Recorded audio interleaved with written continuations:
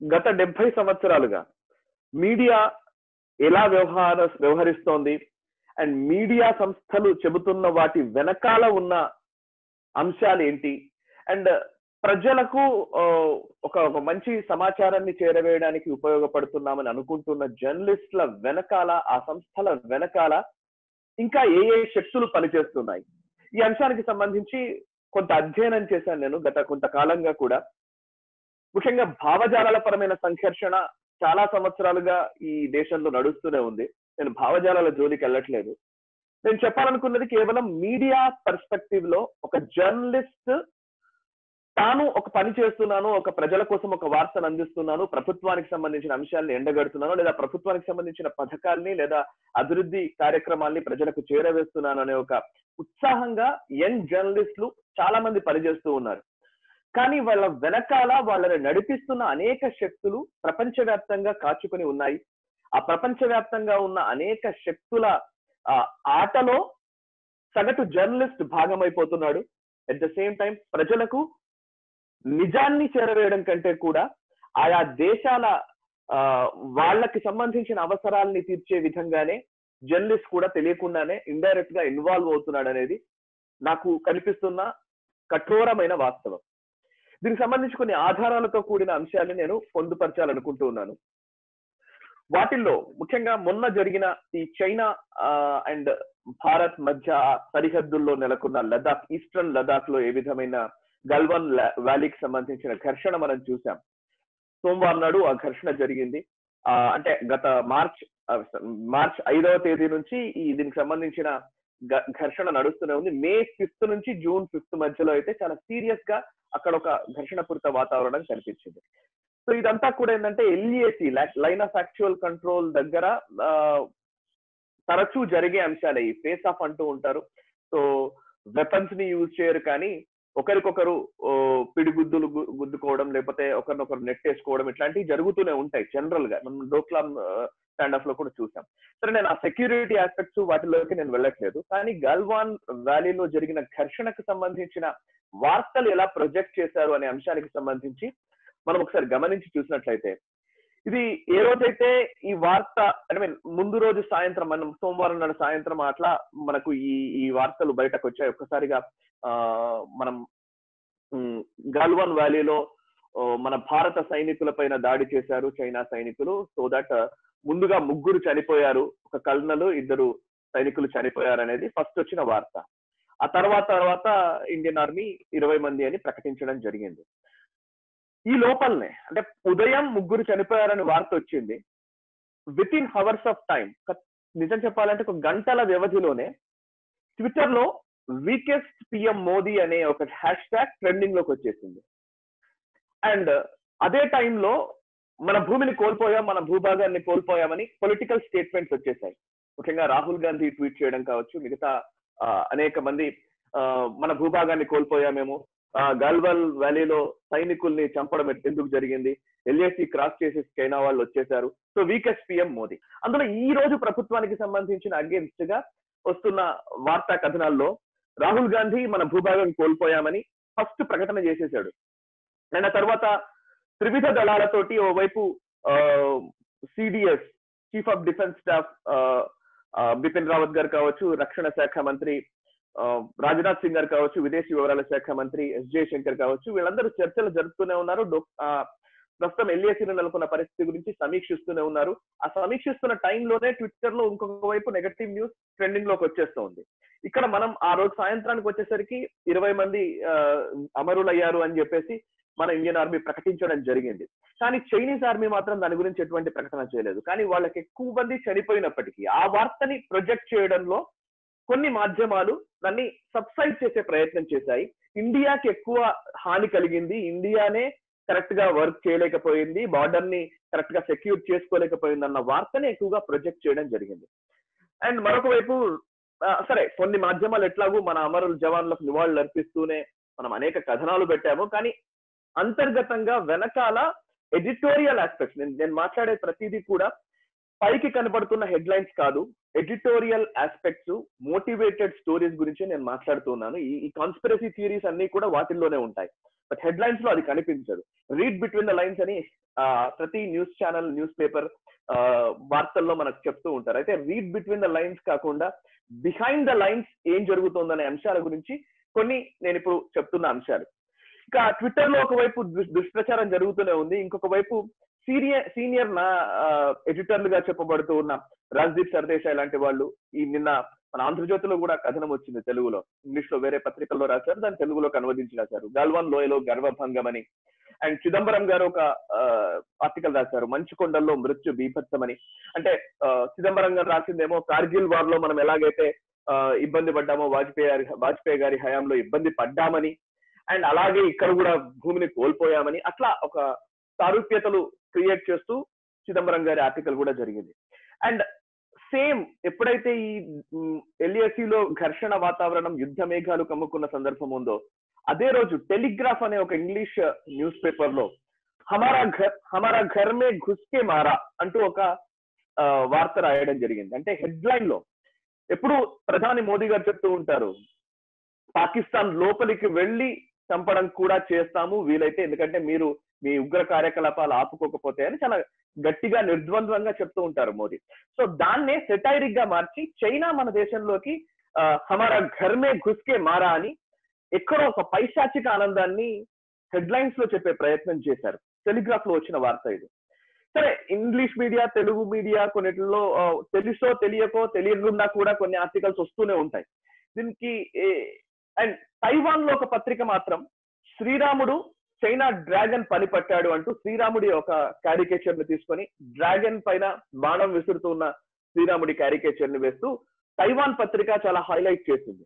డ్రాగన్ని మనం చాలా ఇబ్బందులు పెట్టాము. చైనాకి సంబంధించిన సైనికుల్ని మనం మనకంటే ఎక్కువ నష్టపరచగలిగాము చైనా సైన్యాన్ని. అయినప్పటికీ మన మన మీడియా మాత్రం భారతే తప్పు చేస్తోంది. అంతర్గత భద్రత విషయంలో భారత్ సరిగ్గా వ్యవహరించట్లేదు. సో దట్ ప్రభుత్వం ఫెయిల్ అయిపోయింది అనే ఒక భావనని క్రియేట్ చేసే ప్రయత్నం అయితే జరిగింది. సరే ఇక దాని తర్వాత ఆల్ పార్టీ మీటింగ్ జరగడం ఆల్ పార్టీ మీటింగ్లో ప్రధాని మోదీ ఎంత క్లియర్గా చెప్పినప్పటికీ లేదు లేదు అని కాంగ్రెస్ నాయకురాలు లేదా కాంగ్రెస్ వాళ్ళు ఎప్పుడు మాట్లాడుతూనే ఉన్నారు. ఇక్కడ సమస్య ఏంటంటే రాజకీయ పార్టీలు రాజకీయాలు చేస్తాయి రాజకీయాలు చేయవచ్చు గాక బట్ భద్రతకు సంబంధించిన అంశాలు ముఖ్యంగా దేశానికి సంబంధించిన అంశాలు వచ్చినప్పుడు దేశ సార్వభౌమత్వానికి సంబంధించిన అంశాలు వచ్చినప్పుడు కూడా రాజకీయాలు చేయడం అనే దగ్గరే ఇక్కడ సమస్య మొదలవుతోంది. ఇక అసలు ఎలా జరుగుతుంది? వార్తలు ఎలా కుక్ చేయబడతాయి అనే అంశానికి సంబంధించి నేను ఇంటర్నేషనల్లీ ప్రపంచవ్యాప్తంగా కొన్ని ఆ, పద్ధతులు ఉన్నాయి ఆ పద్ధతుల్ని భారత మీడియా కూడా అన్వయించుకుంది అనడానికి ఎటువంటి సందేహము లేదు. దాంట్లో ఫస్ట్ ఒక వార్త వచ్చింది అనుకోండి ఆ వార్తని చూపించే విధానంలోనే కొన్ని అభూత కల్పనలు జోడించడం జరుగుతూ ఉంటుంది. దాన్ని మనకు తగ్గట్టుగా కుక్ చేసే ప్రక్రియ జరుగుతూ ఉంటుంది. మనం చూస్తే రేప్ క్యాపిటల్ అని భారతదేశం అనడం రేపిస్తాన్ అంటూ ఒక మాట రాయడం. అంటే హిందీయాని తక్కువ చేసే విధంగానే మీడియా వ్యవహార శైలి చాలా సంవత్సరాలుగా జరుగుతుంది. అఫ్ కోర్స్ కొన్ని సమస్యలు ఉన్నప్పుడు సమస్యల్ని ఎత్తి చూపడం కరెక్టే. కానీ at the cost of nation అనే పరిస్థితికి ప్రస్తుతం మీడియా చేరుకుందేమో అని అనడానికి చాలా ఆధారాలు కనబడుతున్నాయి. అందులో ఇప్పుడు మనం గతంలో గమనించాం ఇంటాలరెన్స్ అనే మాట కానీ మాబ్ లించింగ్ కానివ్వండి ఇస్లామోఫోబియా కానీ లేదా క్యాండిల్ ర్యాలీలు తీసిన విధానం కానీ ప్లకార్డ్ల ప్రదర్శన కానీ అంటే చాలా సీరియస్ అంశాలు. లైక్ మొన్నటికి మొన్న సిఏకి సంబంధించిన ప్లకార్డ్ల ప్రదర్శన చూసినట్లయితే to attract western media to attract international media అన్నట్టుగా మన హెడ్ లైన్స్ కనబడుతూ ఉంటాయి అనమాట సో దాని ఏంటంటే మాబ్ లించింగ్ అనే పదము మళ్ళీ సెలెక్టివ్గా వాడడమే జరుగుతూ ఉంటుంది. కొన్ని సందర్భాల్లోనే మా ఇప్పుడు అఖ్లాక్ మరణం గురించి మాట్లాడిన వ్యక్తులందరూ కూడా. ఇంకొక వివేక్ అనే వ్యక్తి చనిపోతే మాట్లాడరు.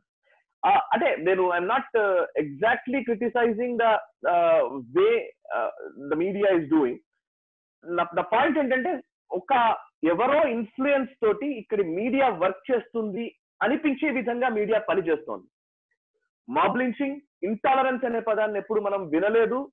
గత ఐదారు సంవత్సరాలుగానే వింటున్నాము. లేదా మాబ్లించింగ్ అనే పదాన్ని గతంలో వినలేదు ఈ మధ్యనే వింటున్నాము. ఇస్లామోఫోబియా అనే పదం ఈ మధ్యనే పుట్టింది. అండ్ క్యాండిల్ ర్యాలీలు లేదా ప్లకార్డ్ల ప్రదర్శనలు తీసుకుంటున్న విధానాలు ట్విట్టర్ హ్యాష్ ట్యాగ్లు ఇవన్నీ కూడా ఒక సెలెక్టివ్ అప్రోచ్తో జరుగుతున్న విధానం అయితే ఖచ్చితంగా కనబడుతోంది. ఇక ఎలా చేస్తారు అనే అంశానికి సంబంధించి కొన్ని పడిగట్టు పదాలని ప్రచారం చేయడం మొదలు పెడుతుంది. ఇంటర్నేషనల్ మీడియా ప్రస్తుతం ఒక అంశానికి సంబంధించి ఏదైనా ఇప్పుడు మొన్నటికి మొన్న సిఏఏకి సంబంధించిన ఇష్యూ వచ్చింది అనుకోండి సిఏఏ నిజంగా ఈ దేశానికి అవసరమా? కాదా? అని ఆలోచించడం కంటే.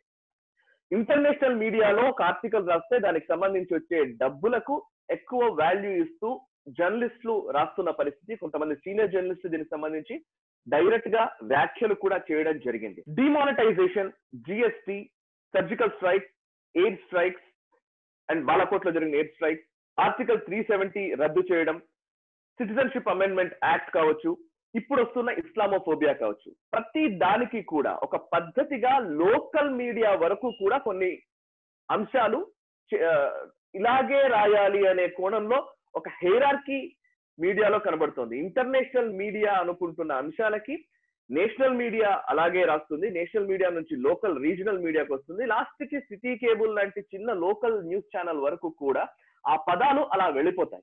అంటే అసహనం అనే పదం అలా వెళ్ళిపోయింది. మాబ్లించింగ్ అనే పదం అలా వెళ్ళిపోయింది. సో ఎవ్రీథింగ్ ఇప్పుడు సర్జికల్ స్ట్రైక్స్కి ప్రూఫ్స్ అడిగామనుకోండి ఇమీడియట్లీ రాహుల్ గాంధీయో లేకపోతే ఇంకొక నాయకుడో స్టేట్మెంట్ ఒక పొలిటికల్ పార్టీ ఒక స్టేట్మెంట్ ఇస్తుంది. ఆ స్టేట్మెంట్కి అనుకూలంగానే కొంతమంది లతియన్స్ మీడియా గ్యాంగ్ ఉంటుంది. వాళ్ళు వెంటనే అందరూ ఒకే టైంలో ట్వీట్ చేస్తారు. మీరు గమనించి చూస్తే నిన్న ఆల్ పార్టీ మీటింగ్కి సంబంధించి నేను కొన్ని ఎగ్జాంపుల్స్ కూడా చెప్తాను. నేను ఆల్ పార్టీ మీటింగ్ జరిగిన తర్వాత దాని గురించి yeah Shehla Rashid.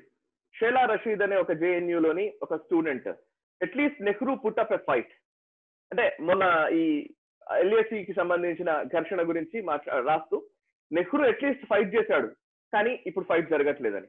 Congress task force ఒక tweet.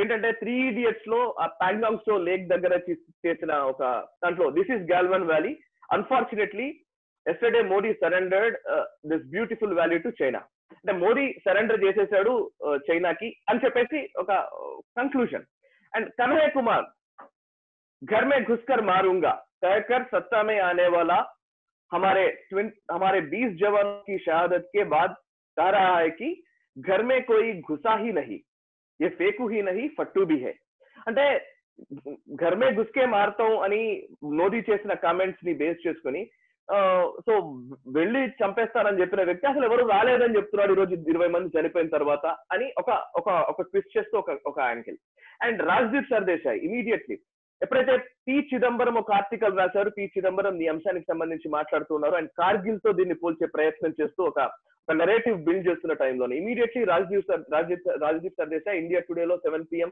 interview is the Congress criticism of the Modi government and China and Galwan encounter ill time are justified అంటూ రాజ్దీప్ సర్దేశాయ్ ట్వీట్ చేస్తారు. ఇమీడియట్లీ మరోవైపు all India Mahila Congress BJP is equals to Beijing Janata party immediately so అంటే అంటే everything is I mean ఒక concluded రిమార్క్స్ని వచ్చే విధంగా ఒక కొత్త నరేటివ్ని బిల్డ్ చేయడం.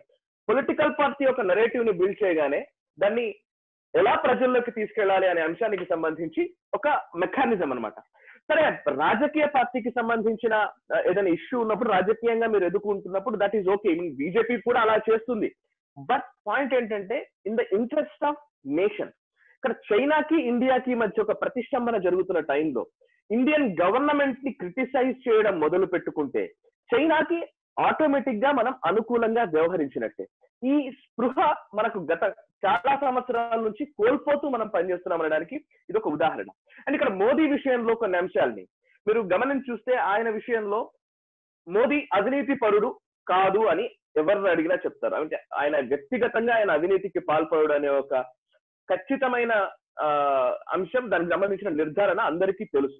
సరే మోదీ ఏమైనా సరే అవినీతి అయితే ఆయన వ్యక్తిగతంగా చేయడం ఎందుకంటే కుటుంబాలన్నింటినీ వదిలేసి వచ్చాడు అనే ఒక ఒక కాన్ఫిడెన్స్ ప్రజల్లో ఉంది. అండ్ ఆయనకున్న ఇంకొక పాయింట్ ఏంటంటే ఆర్మీ లేదా పేట్రియాటిక్ అంశాలకు సంబంధించి దేశభక్తికి సంబంధించిన అంశాల విషయంలో కావచ్చు ఆర్మీని పవర్ఫుల్గా స్ట్రెంథెన్ చేయడంలో కావచ్చు ఆర్మీని గౌరవ రెస్పెక్ట్ చేసే విధానంలో కావచ్చు. సో మోదీ ఖచ్చితంగా వ్యవహరిస్తారు. ఈ రెండు పాజిటివ్ ఎలిమెంట్స్ ఉన్నాయనుకోండి వీటిని ఎలా డిస్మాంటిల్ చేయాలి అనే అంశానికి సంబంధించి ఒక నెరేటివ్ బిల్డింగ్ వీటిని డిస్మాంటిల్ చేయాలంటే ఏంటి? వీటిని తగ్గించాలంటే వీటి లేకుండా చేయాలంటే ఏం చేయాలి? రఫెల్ ఇది ఆర్మీకి లింక్ అయి ఉంటుంది మోదీ అవినీతి చేశాడు అని చెప్పడానికి లింక్ చేసుకునే విధంగా రఫెల్ అనే అంశాన్ని తెరపైకి తేవడం జరిగింది. రఫెల్ ఇంకొక పాయింట్ ఏంటంటే ఇప్పుడు నైన్టీన్ సిక్స్టీ టూ వార్ మనం ఓడిపోవడానికి ఎయిర్ ఫోర్స్ని రంగంలోకి దించకపోవడం కూడా ఒక కారణమని ఎయిర్ చీఫ్ మార్షల్ గతంలో అనేక సార్లు వ్యాఖ్యలు చేయడం జరిగింది. ఇండియన్ ఎయిర్ ఫోర్స్ కూడా దీని మీద రివ్యూ చేసింది త్రివిధ దళాలు దీన్ని అంగీకరించిన పరిస్థితి. So Indian air ఫోర్స్ని nineteen sixty two China war సందర్భంలో మనం ఉపయోగించలేదు. నెహ్రూ ఎందుకు ఉపయోగించలేదనే ప్రశ్న అనేక సందర్భాల్లో వ్యక్తమవుతూ వస్తుంది ముఖ్యంగా ఆర్మ్డ్ పర్సనల్స్ విషయంలో. ఎందుకంటే అక్కడ అడ్వాంటేజెస్ పొజిషన్లో మనం ఉన్నాం. ముఖ్యంగా దౌలత్ బే గోల్డీ అనే ఒక ఎయిర్ స్ట్రిప్ కావచ్చు. హైయెస్ట్ ఎయిర్ స్ట్రిప్గా దాన్ని పేర్కొంటుంటారు. ప్రపంచంలోనే అతి ఎత్తైన ప్రదేశంలో ఉన్న ఎయిర్ స్ట్రిప్గా మనం దాన్ని పేర్కొనాల్సి ఉంటుంది. అటువంటి ఎయిర్ స్ట్రిప్లో మనం ఎయిర్ క్రాఫ్ట్స్ మనల్ని మనం పెట్టుకొని మనం చైనాను నిలువరించడానికి ఎక్కువ అవకాశం ఉన్నప్పటికీ నైన్టీన్ సిక్స్టీ టూ లో మనం దాన్ని వినియోగించలేదు.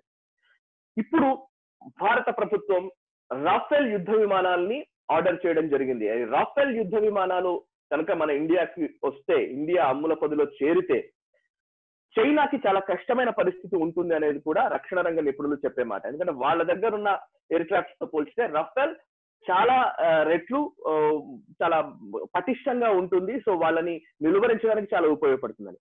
సో దౌలత్ బేగ్ ఓల్డీ అనే ఒక ఎయిర్ స్ట్రిప్ దగ్గర మనం రాఫెల్ యుద్ధ విమానాలతో ఫైట్ చేయడం మొదలు పెడితే చైనా గేమ్ ఎండ్ అయిపోతుందని కూడా విశ్లేషకులు చాలా మంది చెప్తున్న పరిస్థితి. సో రాఫెల్ రాకూడదు. At the same time Rafale విషయంలో అవినీతి జరిగిందన్న ఆరోపణ చేయాలి. చౌకీదార్ చోర్ హై అనే ఒక నినాదం రెండు వేల పంతొమ్మిది ఎలక్షన్స్కి ముందు చాలా పీక్స్లోకి వెళ్ళిపోయింది. ఆ టైంలో సుప్రీంకోర్టుకు వెళ్ళడం జరిగింది. కాగ్ దీని గురించి ఆడిట్ చేసింది. ఎక్కడ అవినీతి లేదని చెప్పింది సుప్రీంకోర్టు కూడా చెప్పింది. సుప్రీంకోర్టు ఆల్మోస్ట్ చౌకీదార్ చోర్ హై అని సుప్రీంకోర్టు చెప్పింది అని రాహుల్ గాంధీ చెప్పిన నేపథ్యంలో క్షమాపణ చెప్పమని చెప్పింది. ఆయన క్షమాపణ కూడా చెప్పారు. అంటే ఎన్ని రకాలుగా అయినా సరే ఒక అబద్ధాన్ని ఫ్లోట్ చేయడానికి మీరు గమనించి చూస్తే ఒక సంవత్సరం పాటు రఫేల్ విషయంలో విపరీతమైన చర్చ దేశవ్యాప్తంగా నడిచింది. నిజంగా ఒకవేళ అండ్ రాహుల్ గాంధీ ఎక్కడికి ఎంత ఎక్స్టెంట్కి వెళ్ళారంటే ఒక టైంలో అయితే మేము వస్తే కనుక ఖచ్చితంగా ఈ డీల్ని మేము రివ్యూ చేస్తామనే దాకా వెళ్ళిపోయారు సో ఇక్కడ పాయింట్ ఏంటంటే అవినీతి పరుడు కాదు అనే ఇమేజ్ మోదీకున్న నేపథ్యంలో. అండ్ ఆర్మీ విషయంలో కానివ్వండి సెక్యూరిటీ ఫోర్సెస్ విషయంలో కానివ్వండి ఒక నిబద్ధతతో దేశభక్తి అంశాలకు సంబంధించి ఉంటారనే ఒక అభిప్రాయం అయితేనేమి ఈ రెంటిని తీసివేయాలంటే ఒక కొత్త నరేటివ్ పొలిటికల్ పార్టీస్ బిల్డ్ చేస్తూ ఉంటాయి. అది కూడా in the interest of China జరిగిందా అనే ఒక క్వశ్చన్ మార్క్ కూడా ఇప్పుడు వినిపిస్తున్న పరిస్థితి కనబడుతుంది. ఎందుకంటే రాఫెల్ విషయంలో రాహుల్ గాంధీ స్టేట్మెంట్స్ లేదా ఆ ఎకో సిస్టమ్ మొత్తం కూడా హిందూ పేపర్ దగ్గర నుంచి ప్రతి వార్తా మాధ్యమాలు ఒక ఎకో సిస్టమ్ మొత్తం కూడా రాఫెల్ విషయంలో ఏదో జరిగిపోతుంది అవినీతి జరిగిపోయిందని ప్రొజెక్ట్ చేసే ప్రయత్నమే చాలా వరకు చేశారు. కానీ అవన్నీ తప్పని తర్వాత తేలిపోయినాయి. ఒకవేళ తేలిపోకపోయి ఉంటే వాళ్ళు సక్సెస్ అయ్యి ఉంటే ఈ రోజు ఇండియన్ ఫోర్సెస్కి ముఖ్యంగా ఇండియన్ ఎయిర్ ఫోర్స్లోకి రఫెల్ రావడానికి కూడా సమస్యగా మారుతుంది. సో ఇప్పుడు చైనాకి కోల్పోయాము మన భూభాగము అని చెప్పే ప్రయత్నం సో కొత్త నెరేటివ్ ఇప్పుడు బిల్డ్ చేయడం జరుగుతుంది. China weakest PM Modi Modi చైనాకి సరెండర్ అయిపోయారు. సో మోదీ సరెండర్ అయిపోయారంటే ఈ భారత ప్రధాని చైనాకు సరెండర్ అయిపోయారని. అంటే భారతదేశం చైనాకు సరెండర్ అయిపోయింది అనే ఒక ఇండైరెక్ట్ మెసేజ్ ఉన్నప్పటికీ కూడా కావాలని టార్గెట్ చేయడం జరుగుతోంది. అండ్ ఇక నెంబర్ టూ మోదీ లేదా బీజేపీ పైన ఉన్న ఆరోపణలు. నేను I not representative of Bharatiya Janata party I'm నేను ఎందుకు మళ్ళీ మళ్ళీ చెప్తున్నానంటే కాకపోతే జరుగుతున్న విషయాలు మాత్రం అవి నిజాలు వాస్తవంగా ఇలా జరుగుతున్నాయి కాబట్టి వాటిని మాత్రమే నేను ప్రొజెక్ట్ చేస్తూ ఉన్నాను. సూట్ బూట్ సర్కార్ అని ఒక ఇమేజ్ భారతీయ జనతా పార్టీకి ఉంటుంది. అంటే పేదల విషయంలో పెద్దగా పట్టించుకోరనే అంశం. అండ్ పేదలకు గురించిన బ్రాహ్మణ్ బనియా పార్టీ అనే ఒక ఇమేజ్ కావచ్చు లేదా సూట్ బూట్ సర్కార్ అని కావచ్చు ఈ మాటలను ఎక్కువగా భారతీయ జనతా పార్టీకి ఆపాదిస్తూ ఉంటారు.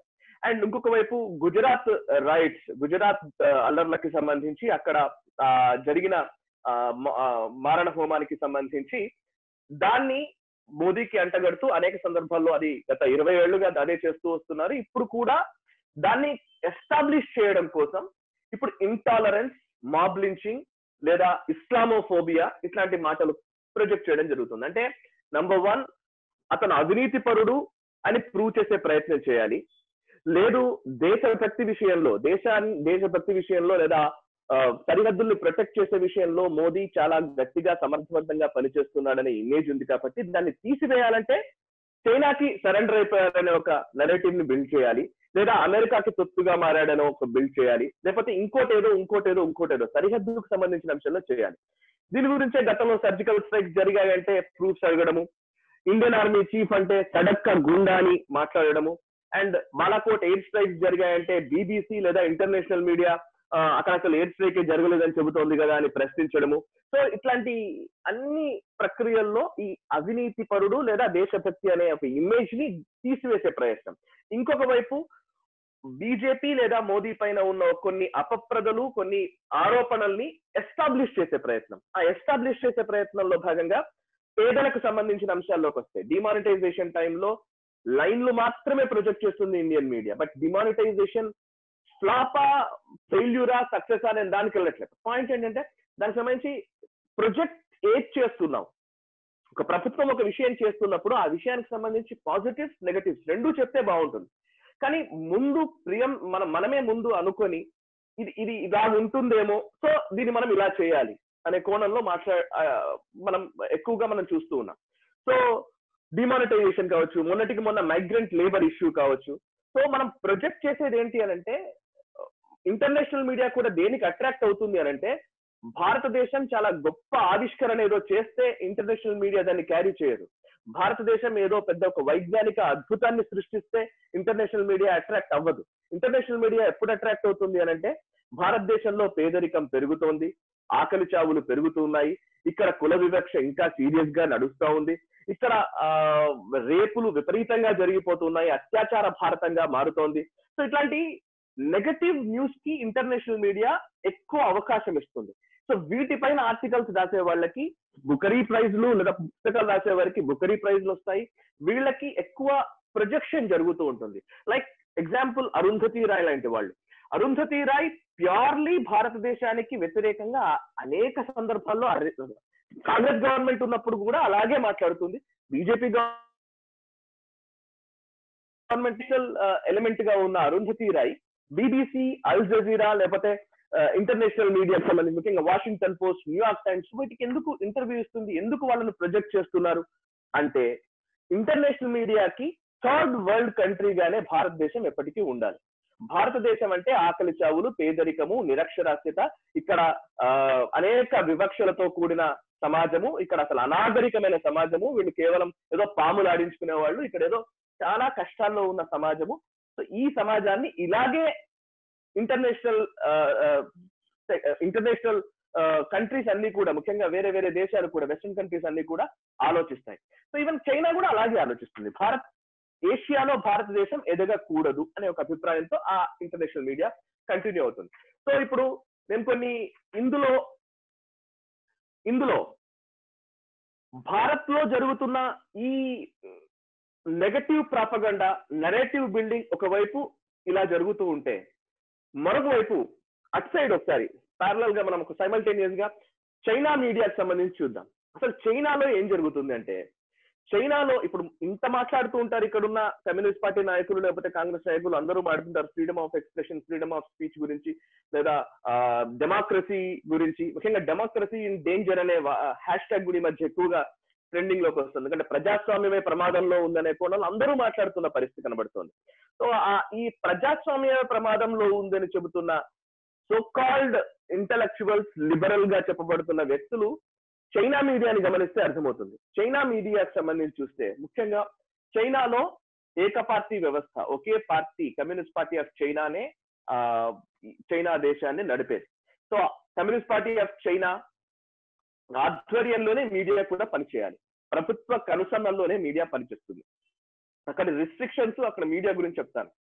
జినువా అనే ఒక ఛానల్ ఉంటుంది. అది ప్రభుత్వ ఛానలే.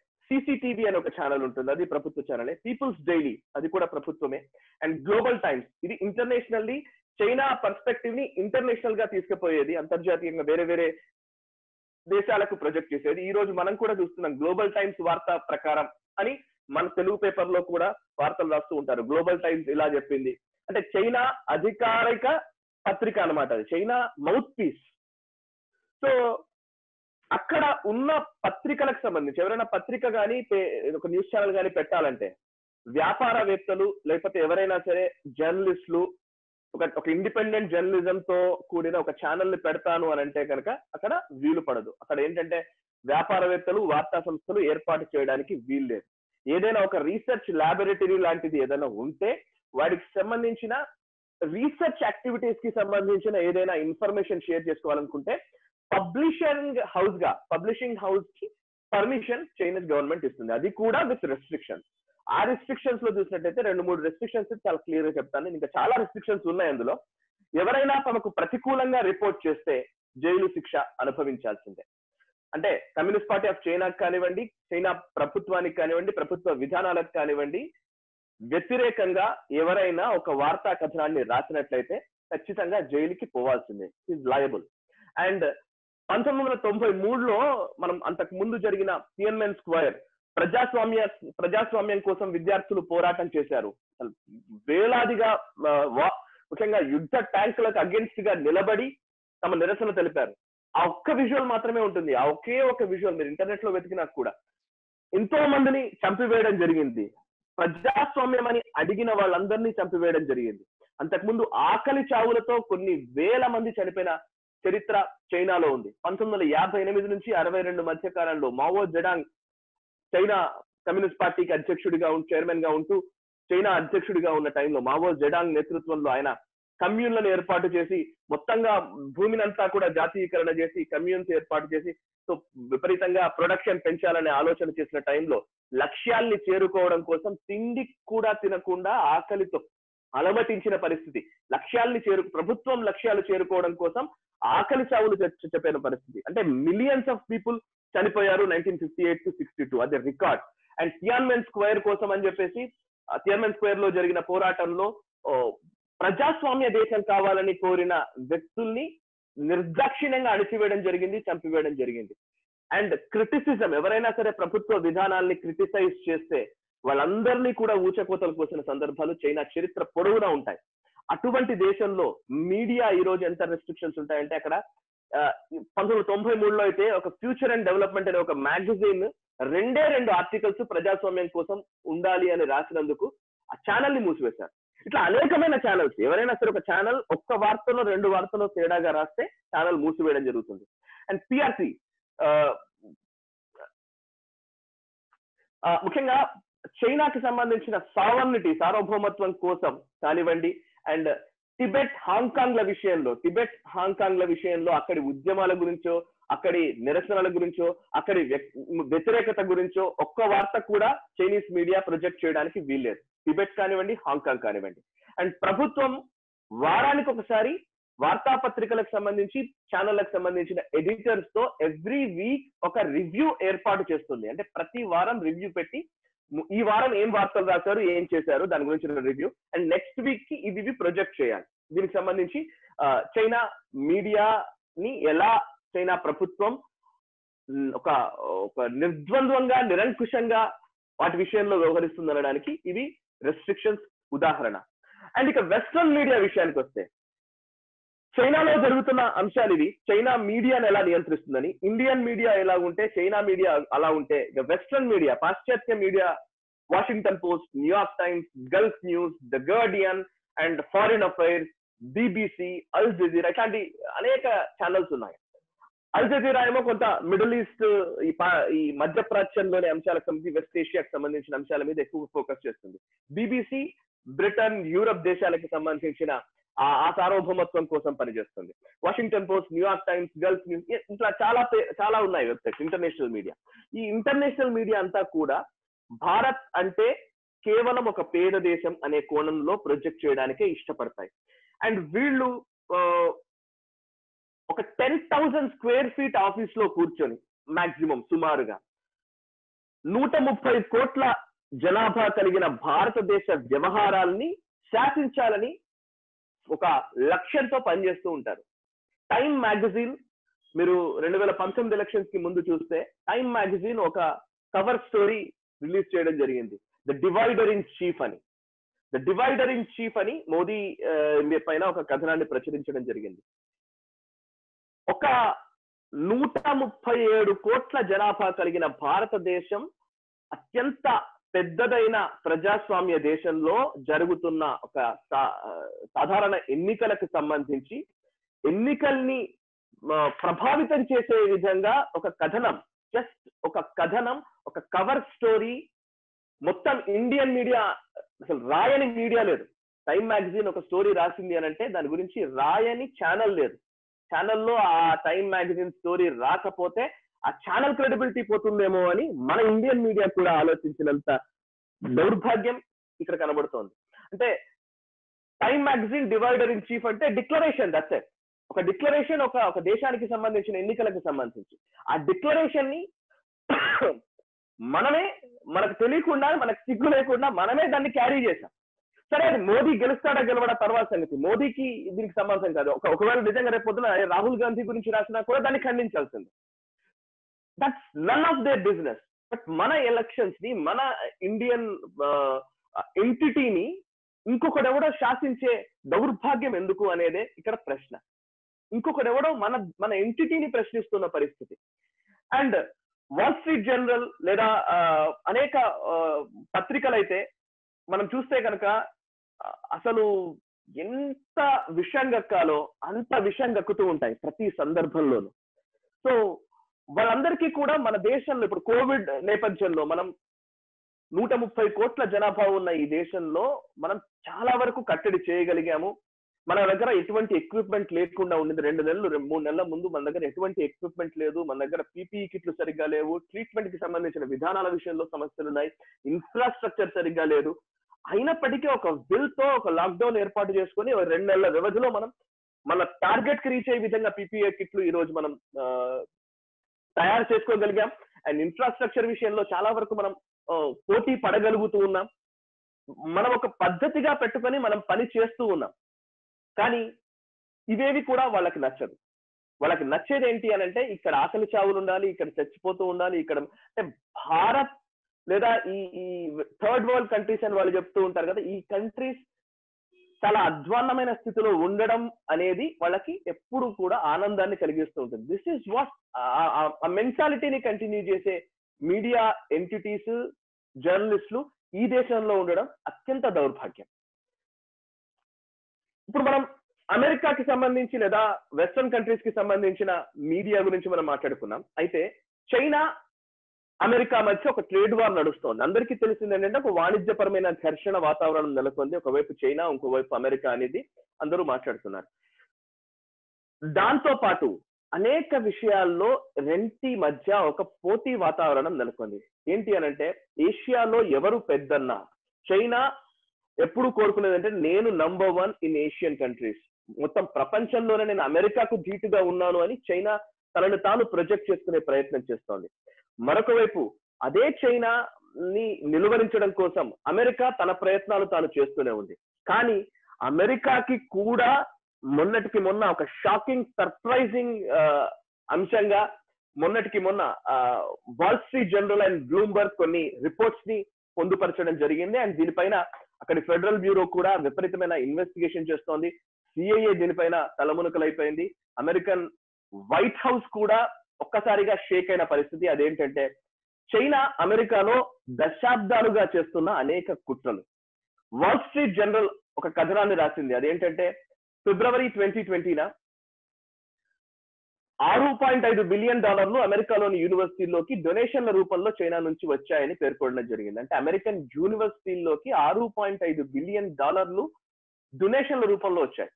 బ్లూంబర్గ్ ఇచ్చిన బ్లూంబర్గ్ అనే ఒక వార్తా సంస్థ ఇచ్చిన కథనం ప్రకారం. ఒక హార్వర్డ్ లోకే వన్ బిలియన్ డాలర్స్ హార్వర్డ్ ఒక్క యూనివర్సిటీలోకే వన్ బిలియన్ డాలర్స్ డొనేషన్స్ రూపంలో వచ్చాయి. అందులో నైన్టీ సెవెన్ మిలియన్ డాలర్స్కి లెక్క చూపించింది. కానీ మిగతా తొమ్మిది వందల మూడు మిలియన్ డాలర్స్కి లెక్క లేదు. ఈ విషయం తెలియగానే ఒక్కసారిగా అమెరికాలో సంచలనం మొదలైంది. చైనా కోసం పనిచేస్తున్న అనేక మంది సైంటిస్టులు యాభై నాలుగు మంది టాప్ సైంటిస్ట్ అమెరికాలో ఉన్న సైంటిస్టులో యాభై నాలుగు మంది టాప్ మోస్ట్ సైంటిస్టులని వాళ్ళంతా కూడా చైనాకు అనుకూలంగా పనిచేస్తున్నారని తేలింది విచారణలో అండ్ టాప్ యూనివర్సిటీస్లోని అకాడమిషియన్స్ని ఎవరెవరైతే పెద్ద పెద్ద స్థాయిలో ఉన్న ప్రొఫెసర్లు అయితేనేమి రీసెర్చ్కి సంబంధించిన డాక్టర్స్ అయితేనేమి రీసెర్చ్ స్కాలర్స్ అయితేనేమి సైంటిస్ట్ అయితేనేమి వీళ్ళందరూ కూడా అమెరికాలో జరుగుతున్న రీసెర్చ్ యాక్టివిటీస్కి సంబంధించిన ఇన్ఫర్మేషన్ నాసా దగ్గర నుంచి చిన్న వరి వంగడాల వరకు అంటే ఆల్మోస్ట్ విత్తనాలకు సంబంధించిన రీసెర్చ్ వరకు ప్రతి అంశానికి సంబంధించి చైనా వాళ్ళ వాళ్ళ వ్యక్తుల్ని వాళ్ళ విద్యార్థులైతేనేమి లేకపోతే అమెరికాలోని మేధావులనైతేనేమి వాళ్ళని పే రోల్స్లో చైనా పెట్టుకుంది అనే విషయం తేట తెల్లమైపోయింది. అండ్ అట్లా పెట్టుకున్న పెట్టుకొని మొత్తం మేధో చౌర్యానికి చైనా పాల్పడుతుందన్న విషయాన్ని అమెరికా ఈ మధ్య కాలంలోనే గుర్తించింది. అండ్ అమెరికాలో పరిస్థితి ఈ విధంగా ఉంటే ఇన్ని సంవత్సరాల్లో మన భారత్ పరిస్థితి ఏంటి? ఒక్క ఒక్కసారిగా నాకు షాక్ అయిపోయాం అసలు యాక్చువల్లీ సర్ప్రైజింగ్ కాదు ఇది ఇంత దారుణంగా ఈ వ్యవహారం ఉంటుంది? అమెరికా లాంటి నిఘా విభాగం చాలా పటిష్టంగా ఉన్న అమెరికాలోనే ఎటువంటి పరిస్థితి ఉంటే చైనా అక్కడ అక్కడున్న వాళ్ళ చైనా జాతీయుల్ని అదే విధంగా అమెరికాకి సంబంధించిన సిటిజన్స్ని కూడా వాడుకొని వాళ్ళకి డబ్బులు ఎరవేసి మేధో చౌర్యానికి పాల్పడి చైనా ఆల్మోస్ట్ అమెరికాలో ఏ గూడైతే ఏ ఏ ఉత్పత్తి అయితే ఉంటుందో దానికి ఆల్మోస్ట్ సేమ్గా ఉండే డూప్లికేట్ గూడ్ ఇంకొకటి చైనాలో తయారవుతుంది అని అంటే దానికి కారణం మేధో చౌర్యం. సో ఈ మేధో చౌర్యం అమెరికాలోనే ఇంత జరిగితే భారత్లో ఎంత జరుగుతోంది అనే అంశానికి సంబంధించి ఒకసారి మళ్ళీ నేను దాని గురించి రీసెర్చ్ చేయడం మొదలు పెట్టాను చైనా ఎలాంటి కుట్రలు చేస్తుంది అని అంటే వివిధ దేశాల్లోని మీడియాలో ఆరు బిలియన్ డాలర్లు పెట్టుబడులు పెడుతోంది. ఆరు బిలియన్ డాలర్లు ఓన్లీ మన ఇండియాకి సంబంధించిన చుట్టుపక్కల ప్లేసుల్లోనే. Six point five billion dollars అమెరికాకు మాత్రమే కేవలం యూనివర్సిటీల్లోనే పెట్టుబడి అట్లా ఆల్మోస్ట్ డొనేషన్ల రూపంలో వెళ్తే ఇక్కడ ప్రతి సంవత్సరం వంద మంది జర్నలిస్టులకు ఆహ్వానం పలుకుతోంది. అండ్ ఇది గత రెండు వేల రెండు వేల ఐదు నుంచి ఈ ప్రక్రియ మొదలైంది. రెండు వేల పది నుంచి దీని సీరియస్నెస్ పెరిగింది చైనా. అంటే అప్పటి వరకు కూడా వన్ బెల్ట్ వన్ రోడ్ అనే ఒక ఇనిషియేటివ్ తీసుకున్న తర్వాత చైనా మొదటి నుంచి కూడా చిన్న చిన్న దేశాలు పేద దేశాలకు అప్పులు ఇస్తూ ఇప్పుడు పాకిస్తాన్ లాంటి దేశాలకు అట్లా ఎరవేస్తూ లేకపోతే చిన్న చిన్న శ్రీలంక లాంటి దేశాలు ఇట్లా అన్నిటినీ కూడా వాళ్ళకి అప్పులు ఇస్తూ వాళ్ళని తమ చెప్పు చేతుల్లో పెట్టుకుంటూ వాళ్ళకు ఇన్వెస్ట్మెంట్ల కింద డబ్బులు అక్కడ ఇన్ఫ్రాస్ట్రక్చర్ డెవలప్మెంట్ కోసమని ఇస్తూ అండ్ వాళ్ళు చైనా పాట పాడే విధంగా చైనా తమకు అనుకూలంగా వాళ్ళందరినీ మార్చుకుంటూ ముందుకు వెళుతున్న పరిస్థితి. So one belt one road initiative వచ్చినప్పటి నుంచి ఈ ఈ ప్రక్రియ జోరందుకుంది. అండ్ చైనా తమ గురించి చైనా గురించి గొప్పగా ప్రపంచానికి చెప్పండి అని స్పష్టంగా దిశానిర్దేశం చేస్తూ మీడియా సంస్థల్లో తమ పెట్టుబడులు పెట్టడం మీడియా జర్నలిస్టులకి ఆ, ఏదో ఒక రూపాన అంటే ఎక్స్చేంజ్ అంటారు దాన్ని. ఇక్కడ నుంచి అక్కడికి కొంతమందిని తీసుకువెళ్ళడము తీసుకువెళ్ళి అక్కడ ఉన్న చైనాలోని బీజింగ్లోని మంచి మంచి ఖరీదైన ఫ్లాట్స్లో ప్లాట్లలో వాళ్ళని అక్కడ ఉంచేసి వాళ్ళను చైనాలోని మిగతా ప్రావిన్సెస్కి టూరిస్ట్ లాగా వాళ్ళని తీసుకెళ్ళడము వాళ్ళకి పూర్తి రెడ్ కార్పెట్ వెల్కమ్ పలకడము. ఒక్కొక్క దేశంలో ఉండే మెయిన్ మీడియా టైకూన్స్ని పిలిచి పెద్ద పెద్ద ఛానల్కి సంబంధించిన లేకపోతే న్యూస్ పేపర్కి సంబంధించిన డిసిషన్ మేకర్స్గా ఒపీనియన్ మేకర్స్గా ఉన్న జర్నలిస్ట్లని చైనాకి ఆహ్వానించి వాళ్ళకి రెడ్ కార్పెట్ వెల్కమ్ పలికి వాళ్ళని చైనాలోని ముఖ్యంగా బీజింగ్ లాంటి ప్లేసెస్లో చాలా గొప్పగా వాళ్ళకి ట్రీట్మెంట్ ఇచ్చి అండ్ అక్కడ యూనివర్సిటీల నుంచి ఏదో ఒక డాక్టరేట్ హాన్ హానర్స్ డిగ్రీయో ఇంకోటో ఇంకోటో ఇవ్వడము. సో ఇట్లా చేస్తూ వాళ్ళకి డబ్బులు ఎరవేస్తూ చైనా గురించి గొప్పగా ఆయా దేశాల్లో చెప్పండి అని చెప్పే ప్రయత్నం చేస్తోంది. ఇది గత పది పదిహేను ఏళ్ళుగా జరుగుతున్న ప్రక్రియ.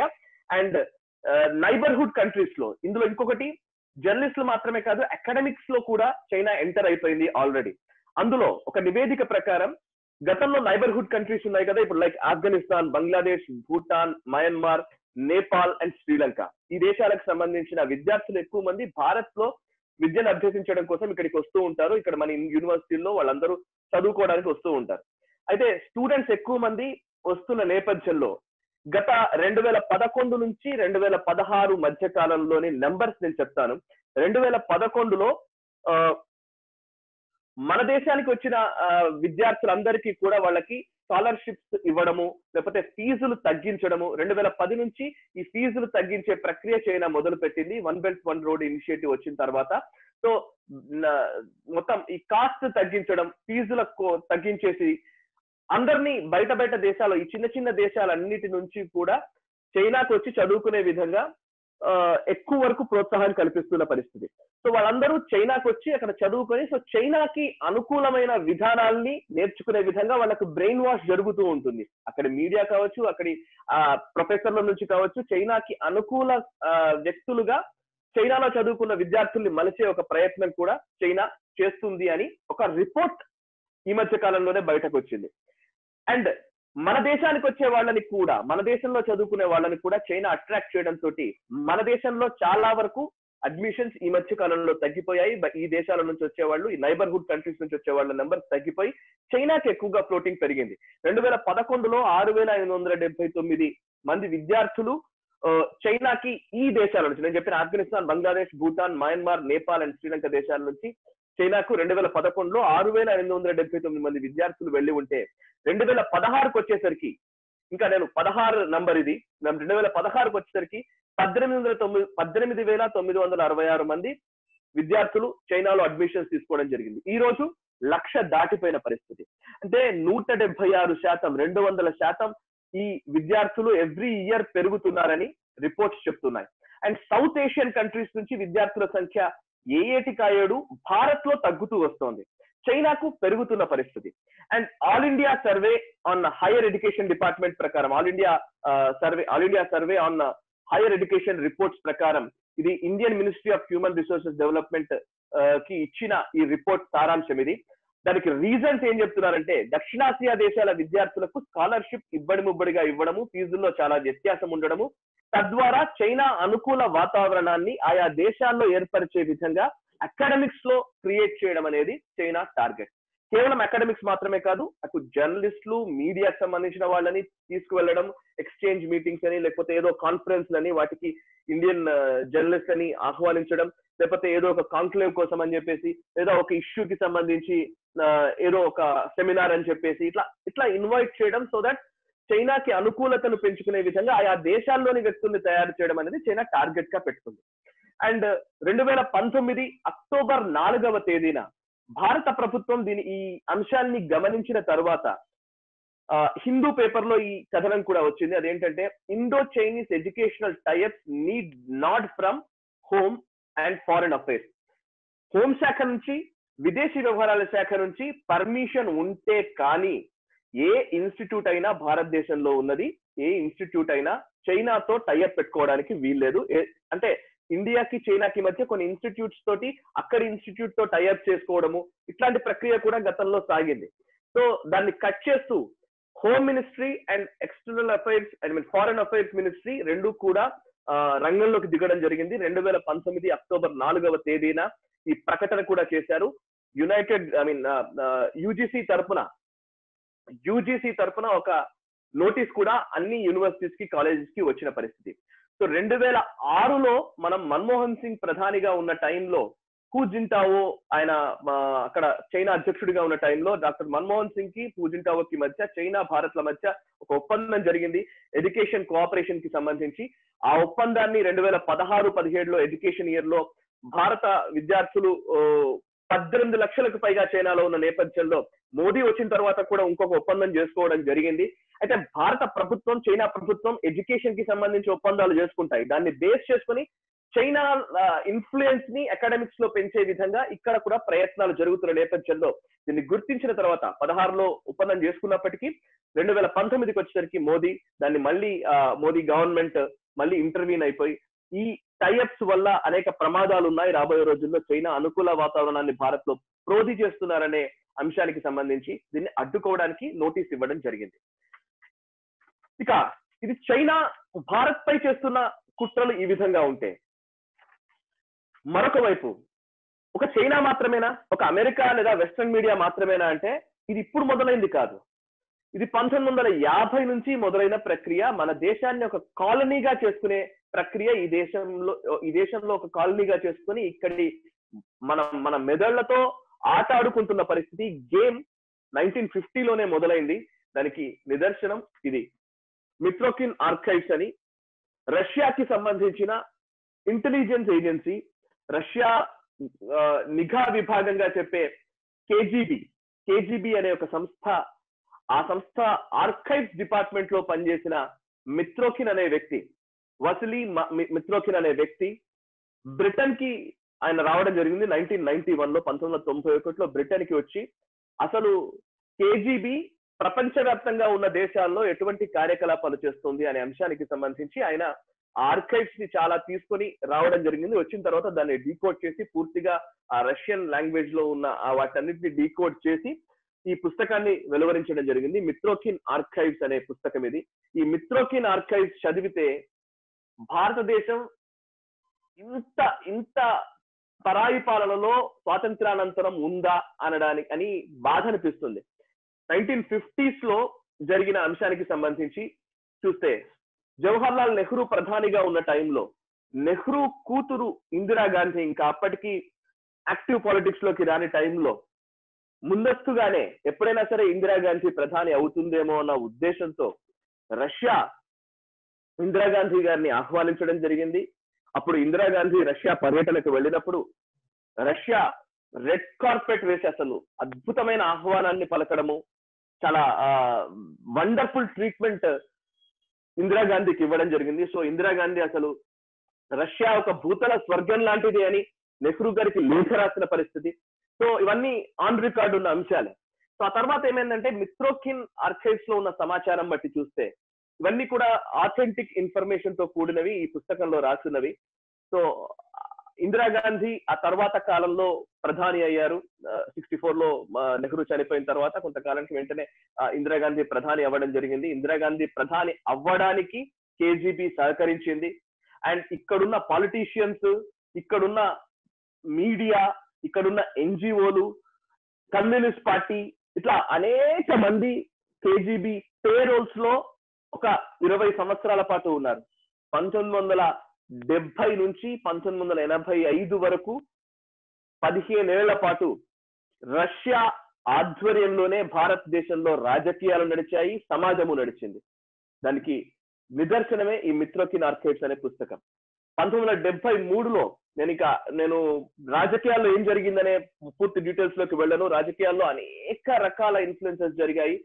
ఆర్ముడ్ డీల్స్ ఆర్ముడ్ పర్సనల్స్కి సంబంధించిన అంశాలు కావచ్చు లేకపోతే డిఫెన్స్ డీల్స్ కావచ్చు లేకపోతే విదేశీ వ్యవహారాల్లో కృష్ణ మీనన్ వ్యవహరించిన తీరు కావచ్చు లేకపోతే ఆ తర్వాత జరిగిన అనేక అంశాల్లో రష్యా ఎలా చెబితే అలా భారత్లో ప్రభుత్వం నడిచింది సమాజం నడిచింది మీడియా వ్యవహరించింది ఇంటలెక్చువల్స్ వ్యవహరించారు. అసలు భారతదేశం ఒక రకంగా చెప్పాలంటే రష్యా పరిపాలనలో ఉంది అని మనం అర్థం చేసుకోవాల్సి ఉంటుంది. అందులో జర్నలిస్ట్ల పాత్ర గురించి చెప్తాను. పిటిఐ అనే ఒక అధికారిక భారత ప్రభుత్వ సంస్థ న్యూస్ ఏజెన్సీ ఉంది కదా ప్రెస్ ట్రస్ట్ ఆఫ్ ఇండియా అని. దీన్ని మిత్రోకిన్ ఆర్కైవ్స్లో రష్యన్స్ ఎలా అనుకునేవారట అంటే ప్రెస్ ట్రస్ట్ ఆఫ్ ఇండియా కాదు press TASS of India TASS. TASS అంటే అది Russian news agency. Russian news ఏజెన్సీగా ఈ ప్రెస్ ట్రస్ట్ ఆఫ్ ఇండియా కూడా మారిపోయింది అనే కోణంలోకి వెళ్ళిపోయిన పరిస్థితి అంత దారుణమైన స్థితిలోకి వెళ్ళిపోయిన పరిస్థితి. అండ్ పంతొమ్మిది వందల డెబ్బై మూడులో కేజీబీ కేజీబీ పేపర్స్ ప్రకారం పది main news papers and main news పేపర్స్కి పది న్యూస్ పేపర్స్కి అప్పటికి ఇంకా ఛానల్స్ రాలేదు పూర్తిగా ఫండింగ్ రష్యా నుంచి వచ్చిన పరిస్థితి. పంతొమ్మిది వందల డెబ్బై రెండులో వాళ్ళు ఆర్టికల్స్ కూడా ఎన్ని ఆర్టికల్స్ రాశారనే దానికి కూడా నంబర్స్ ఉన్నాయి ఇక్కడ. పంతొమ్మిది వందల డెబ్బై రెండులో మూడు వేల ఏడు వందల ఎనభై తొమ్మిది ఆర్టికల్స్ పంతొమ్మిది వందల డెబ్బై మూడులో రెండు వేల ఏడు వందల అరవై ఆర్టికల్స్ పంతొమ్మిది వందల డెబ్బై నాలుగులో నాలుగు వేల నాలుగు వందల ఎనభై ఆరు ఆర్టికల్స్ పంతొమ్మిది వందల డెబ్బై ఐదులో ఐదు వేల ఐదు వందల పది ఆర్టికల్స్ ఇట్లా కంటిన్యూస్గా పోతూనే ఉన్నాయి అనమాట నెంబర్ సో ప్రతి సంవత్సరం నెంబర్ పెరుగుతూనే ఉంటుంది. ఆర్టికల్స్ రాసేవాళ్ళు పేపర్లు వచ్చేవి ఇవన్నీ కూడా. ఎస్ఐడి అంటే Soviet information department in New Delhi అని ఒకటి సపరేట్గా ఏర్పాటు చేసి పంతొమ్మిది వందల ఎనభై నాలుగులో మనము అప్పుడైతే ఇంకా Indian federation of working journalist అంటే యూనియన్స్ జర్నలిస్ట్ యూనియన్స్కి కూడా డబ్బులు వచ్చిన పరిస్థితి అని రష్యన్ కేజీబీ ప్రకటించింది. అండ్ సిపిఐకి చెందిన people's publishing house communist party of ఇండియాకి చెందిన పీపుల్స్ పబ్లిషింగ్ హౌస్కి సంవత్సరానికి కోటి రూపాయలు రష్యా నుంచి వచ్చేవని అందులో పొందుపరచడం జరిగింది.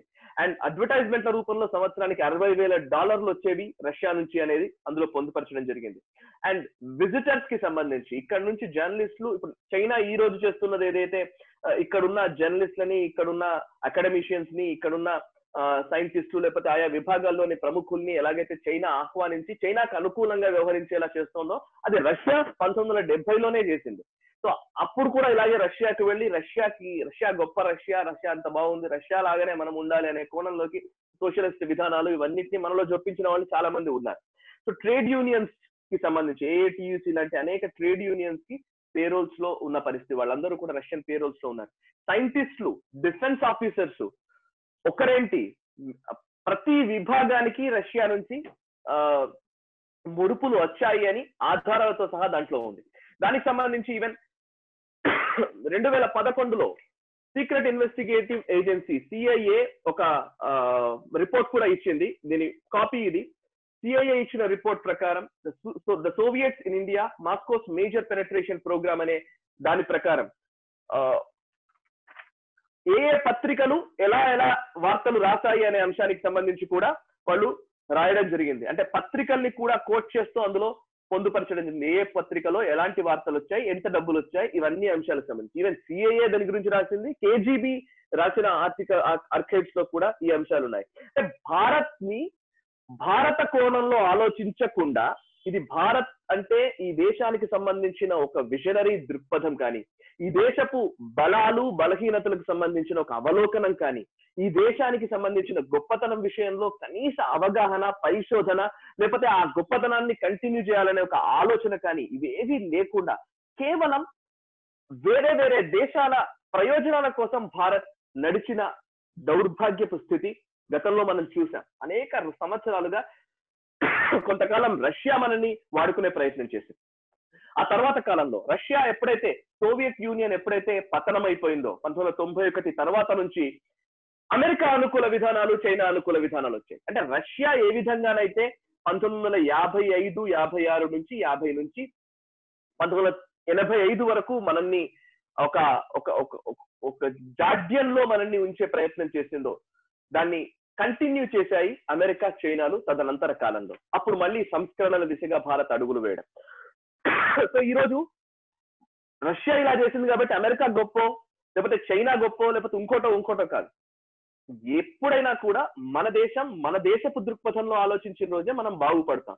అంతేగాని రష్యా కొంతకాలం మనల్ని ఎలాగైతే కాలనీలా భావించిందో ఆ తర్వాత కాలంలో అమెరికా మనల్ని వాడుకోవడం మొదలు పెట్టింది ఇప్పుడు ఇందాక నేను చెప్పిన Wall Street Journal Washington Post New York Times లేకపోతే ఏ బీబీసీ ఈ రోజుకి కూడా మన తెలుగు మీడియాలో చాలా మంది చెప్తూ ఉంటారు. బీబీసీ ఒక వార్త రాసిందంటే చాలా గొప్ప వార్త. ఎందుకు బీబీసీ రాస్తే గొప్ప వార్త అవుతుంది? బీబీసీ ఏ రోజు భారత్ గురించి గొప్పగా రాసింది? అసలు భారత్ గురించి బీబీసీకి ఉన్న అభిప్రాయం ఏంటి? బీబీసీ ఎవరు భారత రాజకీయాల్ని శాసించడానికి? లేదా Washington Post Wall Street journal వాళ్ళకి భారతీయ ఆత్మ ఏం తెలుసు? భారతీయ ఆత్మ గురించి ఇక్కడి జర్నలిస్టులు ఇక్కడి వారే పట్టించుకునే పరిస్థితి. ఇంకేదో రష్యాలో జరిగిన విధానం ఇక్కడ అమలు చేయడమో ఎక్కడో చైనాలో జరిగిన ఆక్రమణవాదం ఇక్కడ ఎందుకు అమలు చేయడము? ఎక్కడ అమెరికాలో జరిగిన అంశాలు ఇక్కడ అమలు చేయడం. ఇది మానుకున్నప్పుడు జర్నలిజంలో ఒక కొత్త మార్పు వస్తుంది. అప్పుడు మన దేశం మన దేశం స్వయం సమృద్ధ భారత్గా నిలబడుతుంది అనేది నా అభిప్రాయం. And let let me conclude this.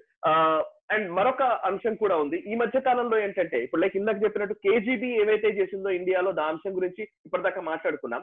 And ఇక్కడ ఇంకొక బుక్ నేను చెప్తున్నాను. ఇది బ్రేకింగ్ ఇండియా. బ్రేకింగ్ ఇండియా అనే ఒక పుస్తకం. ఇది దీంట్లో మీకు గమనించి చూస్తే మొత్తం ఈ పుస్తకం పుస్తకం ఎంత పెద్దదో దీంట్లో బిబ్లియోగ్రఫీ దీనికి సంబంధించి ఏమేం చేశారు ఎండ్ నోట్స్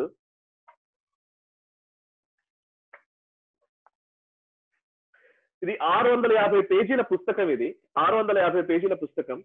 దాంట్లో నాలుగు వందల యాభై పేజీలు నాలుగు వందల యాభై పేజీలు పుస్తకంగా ఉంటుంది. మిగతా అంతా కూడా బిబ్లియోగ్రఫీ అంటే ఇదంతా కూడా authentic sources authentic information and మేజర్గా ఆయా ప్రభుత్వాలు తీసుకున్న నిర్ణయాల ఆధారము వాటికి సంబంధించిన లింక్స్ని పొందుపరుస్తూ ఈ బ్రేకింగ్ ఇండియా అనే పుస్తకాన్ని రాయడం జరిగింది. రాజీవ్ మల్హోత్రా గారు అండ్ అరవింద్ అరవింద్ నీలకంఠన్ గారు రాసిన ఈ పుస్తకం ఇది. దీంట్లో కొన్ని అంశాల గురించి మీరు చదివినట్లయితే ఇంకా బాధ అనిపిస్తుంది. మిత్రకిన్ ఆర్కైవ్స్ ఎలాగైతే మనల్ని ఒకవైపు రష్యా అనుకూలంగా ఏం చేశారు మన దేశాన్ని ఎలా మార్చారని చెప్తే ఈ బ్రేకింగ్ ఇండియా చదివితే పాశ్చాత్య దేశాలు మన దేశాన్ని ఎలా తమ కాలనీలుగా ఇప్పటికీ భావిస్తున్నాయో అర్థమవుతుంది. దాంట్లో ఒక అంశం చెప్తాను నేను. I'm not against to any religion but వాళ్ళు చేస్తున్న ప్రక్రియలకు సంబంధించి కొన్ని చెప్పాల్సి ఉంటుంది. ఇక్కడ క్రిస్టియన్ మీడియా ప్రభావానికి సంబంధించి కూడా కొన్ని అంశాలు పొందుపరచడం జరిగింది. ఇంటర్నేషనల్ రిలీజియస్ ఫ్రీడమ్ యాక్ట్ అని ఒక యాక్ట్ని బిల్ క్లింటన్ గారు అమెరికా అధ్యక్షుడిగా ఉన్న టైంలో పాస్ చేయడం జరిగింది. ఇంటర్నేషనల్ రిలీజియస్ ఫ్రీడమ్ యాక్ట్ అని. అంటే దాని ఉద్దేశం ఏంటంటే చిన్నగా బ్రాడ్గా చెప్తాను. అదేంటంటే ఇంటర్నేషనల్ రిలీజియస్ ఫ్రీడమ్ యాక్ట్ ప్రకారం ఏదైనా సరే ఒక రిలీజియస్ యాక్టివిటీ ఒక మిషనరీ క్రిస్టియన్ మిషనరీస్ చేసే యాక్టివిటీ ఆయా దేశాల్లో జరుగుతూ ఉంటుంది. దాన్ని అడ్డుకునే విధంగా ఒకవేళ ఆయా దేశాల ప్రభుత్వాలు నిర్ణయాలు తీసుకుంటే White House has to interview White House intervene అయ్యేలాగా వాళ్ళపైన శాంక్షన్స్ ఆంక్షలు విధించేలాగా ఆ దేశం ని మనం ఈ దేశం పట్ల మనం ఆంక్షలు విధించేలాగా నిర్ణయం తీసుకోవాలని చెప్పేదే ఇంటర్నేషనల్ రిలీజియస్ ఫ్రీడమ్ యాక్ట్ ఆ రిలీజియస్ ఫ్రీడమ్ యాక్ట్ బేస్ చేసుకొని క్రిస్టియన్ సంస్థలు కొన్ని కొన్ని న్యూస్ ఏజెన్సీస్గా ఏర్పడి భారతదేశంలో ఎటువంటి కార్యకలాపాలు చేస్తున్నాయంటే ఇక్కడ ముఖ్యంగా ప్రెషర్ బిల్డ్ చేసే విధంగా ఒక ఒక ప్రెషర్ని బిల్డ్ చేసే ఒక మెకానిజం కావచ్చు. అండ్ ప్రభుత్వాన్ని ఇరుకున పెట్టే విధంగా వ్యవహరించే తీరు కావచ్చు. అండ్ ఇప్పుడు ఈ మధ్య కాలంలో చూస్తున్నాం క్రిస్టియన్కి మిషనరీస్కి సంబంధించి క్రిస్టియన్ పాస్టర్లు ఏదైనా తప్పు చేశారనుకోండి ఏదైనా క్రిమినల్ యాక్టివిటీలో ఉన్నారనుకోండి వాటి గురించిన వార్త ఒక్కటి కూడా మీడియాలో రాకుండా చూసుకోవడం. ఆ మీడియాలో వచ్చే వార్తలు ప్రో క్రిస్టియన్ వార్తలు వచ్చే విధంగా పనిచేయడం. సో ఇవన్నీ చేయడానికి అసిస్ట్ న్యూస్ సర్వీస్ అనే ఒక news agency mission network news అనే ఒక news agency Christian broadcasting network అనే ఒక news news agency and Gegrapha and Indian Christian journalist అనే ఇంకొక న్యూస్ ఏజెన్సీ ఈ న్యూస్ ఏజెన్సీస్ అన్ని కూడా ఇంటర్నేషనల్లీ మానిటర్ చేస్తూ ఉంటాయి భారతదేశంలో ఉన్న పరిస్థితులకు సంబంధించి. సో భారత్లో జరుగుతున్న విధానాల గురించి వాళ్ళు ఎప్పుడు ఈ మానిటర్ చేస్తూ ఉంటారన్నమాట. సో క్రిస్టియన్ యాక్టివిటీకి ఎక్కడైనా ఇబ్బందికరమైన పరిస్థితి వస్తున్నా లేదా ఒక మీడియాలో క్రిస్టియన్ యాక్టివిటీ గురించి ఏదైనా నెగటివ్గా రాసినా చేసినా ఏదైనా దాని గురించి ప్రొజెక్ట్ చేసినా ఇమీడియట్లీ వాళ్ళు ఇంటర్వైన్ అయిపోతారు అనమాట సో ఇంత ఆర్గనైజ్డ్ వేలో ఇంటర్నేషనల్ ఆర్గనైజేషన్స్ పనిచేస్తున్న పరిస్థితి కనబడుతుంది. చాలా పక్కడ్బందీగా ఈ దేశంలో ఏ యాక్టివిటీ జరగాలి? ఒక చిన్న ఎగ్జాంపుల్ చెప్తాను. శ్రీనగర్లో సెయింట్ జోసెఫ్ స్కూల్ పైన ఒక దాడి జరిగింది. దాడి ఏంటంటే క్రిస్టియానిటీని నేర్పుతున్నారనే ఉద్దేశంతో అక్కడి ఉగ్రమూకలు దాడి చేసిన పరిస్థితి. సో ఆ ఉగ్రమూకలు కూడా ముస్లిం సో ముస్లింస్ ఉగ్రమూకలు దాడి చేసిన నేపథ్యంలో దాన్ని సబ్సైడ్ చేస్తూ ప్రొజెక్ట్ చేయడం కూడా జరిగింది. అంటే అక్కడ ఏంటంటే ముస్లిమ్స్ అని ఎక్కడ రాకుండా అంటే ముస్లిమ్స్ క్రిస్టియన్స్ మధ్య దాడి జరుగుతోంది ఇండియాలో అంటే అది ఇంకొక ఇమేజ్ పోతుంది. అండ్ కాశ్మీర్లో మానవ హక్కుల గురించి లేదా కాశ్మీర్లో మానవ హక్కుల ఉల్లంఘన జరుగుతుందనే విషయాన్ని ఇవే మిషనరీలు ఇవే ప్రొజెక్ట్ చేస్తూ ఉంటాయి అప్పుడప్పుడు ఇండియాను తగ్గించడం కోసం. సో దాన్ని అట్లా ప్రొజెక్ట్ చేయకుండా కేవలం సెయింట్ జోసెఫ్ స్కూల్ పైన దాడి జరిగింది అనే వరకే పరిమితం చేస్తాయి ఇంటర్నేషనల్ మీడియా. సో వాళ్ళు ఏం చేస్తారంటే భారత్లో క్రిస్టియన్లకు ఎక్కడ అసలు క్రిస్టియన్లకు చాలా రక్షణ లేకుండా పోతోంది. వాళ్ళ పైన దాడులు చేస్తూ ఉన్నారు. చర్చిల పైన దాడులు జరుగుతున్నాయి. పాస్టర్ల పైన దాడులు జరుగుతున్నాయి. మత ప్రచారం చేసుకోనివ్వట్లేదు అని చెప్పేసి ఇదే ఎవాంజలికల్ గ్రూప్స్ అమెరికా కేంద్రంగానో లేకపోతే బ్రిటన్ కేంద్రంగానో ఇటలీ కేంద్రంగానో నిరసనలు తెలుపుతూ ఉంటాయన్నమాట. సో జరుగుతున్నది ఒకటి దాన్ని ప్రొజెక్ట్ చేస్తున్న విధానం ఒకటి ఈ మధ్య కాలంలోనే మొన్న మీ మధ్య ఒక వార్తను మీరు చూసి ఉంటారు. బంజారా హిల్స్లో ఒక ఒక వ్యక్తి చనిపోతే కోవిడ్ టైంలో చనిపోతే లాక్డౌన్ ఉన్న పీరియడ్లో చనిపోయేసరికి ఎవరు లేకపోవడంతో ఒక ముస్లిం లు ఒక ముగ్గురు నలుగురు వచ్చి వాళ్ళే ఆ పాడే మోసారు ఆ అంత్యక్రియలు చేశారని ఒక వార్త అన్ని పేపర్లు కవర్ చేశారు ఈనాడు ఆంధ్రజ్యోతి ఇంగ్లీష్ పేపర్లు అందరూ కవర్ చేస్తారు. కానీ తేలింది ఏంటంటే ఆ వ్యక్తి కుటుంబ సభ్యులతో నేను స్వయంగా మాట్లాడిన తర్వాత తెలియదు ఏంటంటే ఇట్లా వచ్చి ఫోటో తీసుకొని వెళ్ళిపోయారు. ఆ ఫోటోని మీడియాకి అందించారు. మీడియా దాన్ని ప్రొజెక్ట్ చేసింది. దాన్ని ఆఖరికి కేటీఆర్ గారు కూడా ట్వీట్ చేస్తారు. సో మొత్తంగా ఏంటంటే చూసారా ముస్లిమ్స్ ఎంత ఇబ్బంది ఎంత హృదయ విదారకమైన సందర్భాల్లో కూడా వాళ్ళు ఎంత మానవత్వ మానవతా దృక్పథంతో పనిచేస్తున్నారనే ఒక ఇమేజ్ ఇస్తారు. రైట్ నేను ముస్లిమ్స్ అందరూ కూడా చాలా అద్భుతంగా ఉన్న వాళ్ళు చాలా మంది ఉన్నారు. కానీ కావాలని ప్రచారం చేయడం అనే దగ్గరే ఒక సమస్య మొదలవుతుంది. ఎవరైనా సరే హిందూ అయినా ముస్లిం అయినా క్రిస్టియన్ అయినా ఎవరికి సంబంధం ప్రతి ఒక్కరు ఒక మంచి పని చేసినప్పుడు దాన్ని ఆ సమర్థించడము దాన్ని గొప్పగా ప్రొజెక్ట్ చేయడము ఎంత ఇంపార్టెంటో. కావాలని లేని మంచిని మంచి అని చెప్పే కుట్రపూరిత ధోరణి కూడా అంతే ప్రమాదం. సో దా ఆ విషయంలో జాగ్రత్తగా ఉండాలనేదే నేను చెప్పాలనుకునేది. అండ్ లాస్ట్గా మీడియా వ్యవహరిస్తున్న విధానాలకు సంబంధించి నేను బీయింగ్ ఏ జర్నలిస్ట్ నేను ఇవన్నీ చెప్తున్నానంటే నేనేదో జర్నలిజం ని ఇబ్బంది పెడుతూనో లేకపోతే జర్నలిజం లో ఉంటూ జర్నలిజం గురించి మాట్లాడడం ఏంటి అని అనుకోవచ్చు కాక ఐ స్టిల్ టుడే ఈ రోజుకి కూడా నేను ఐ రెస్పెక్ట్ మై ప్రొఫెషన్. నేను మనసా వాచ కర్మణ. ఈ ప్రొఫెషన్ని నేను ఆరాధిస్తూ ఉన్నాను. ఈ జర్నలిజం కోసం ఈ జర్నలిజం బతకాలి. పది మందికి మంచి విషయాలు తెలవాలి. ఈ దేశానికి సంబంధించిన ఆత్మను ఆ కావిష్కృతం చేసే విధంగా భావితరాలకు ఒక విజ్ఞానాన్ని అందించే విధంగా ఈ సాంస్కృతిక గొప్పతనాన్ని మన భావితరాలకు అందించాలనే సంకల్పంతో నేను పనిచేస్తూ ఉన్నాను. ఐఎమ్ నాట్ నేను మిగతా సంస్థల్లో లేకపోతే ఒక జర్నలిస్టులను విమర్శించడం కంటే కూడా వాళ్ళు చేస్తున్న వాటిల్లో వాళ్ళకి తెలియకుండానే ఇంకొకరు ఇన్ఫ్లుయెన్స్ చేస్తున్న అనే విషయాన్ని సామాన్య ప్రజలకు అర్థం అవ్వాలి ఇట్లాంటి మీలాంటి ఒపీనియన్ మేకర్స్కి ఇంటలెక్చువల్స్కి ఇందులో పార్టిసిపేట్ చేస్తున్న వ్యక్తులందరికీ అట్లీస్ట్ కొంతవరకు ఇన్ఫర్మేషన్ వెళితే దీన్ని ఇంకా పది మందికి వెళతారు తీసుకెళ్తారనే ఒక అభిప్రాయంతో ఉన్నాను. మీడియాలో వచ్చే వార్తలన్నీ కూడా వెనకాల ఇంకేవో శక్తులు నడిపిస్తున్నాయన్న వాస్తవం మాత్రం నిజంగా కఠోరంగా కనిపిస్తున్నప్పటికీ అది నిజం. దాన్ని అంగీకరించాల్సిందే. దాన్ని అధిగమించే విధంగా జర్నలిస్టులు అందరూ కూడా పూనుకోవాలనేదే నా ఆలోచన నా ఆకాంక్ష నా ఆ, కోరిక కూడా.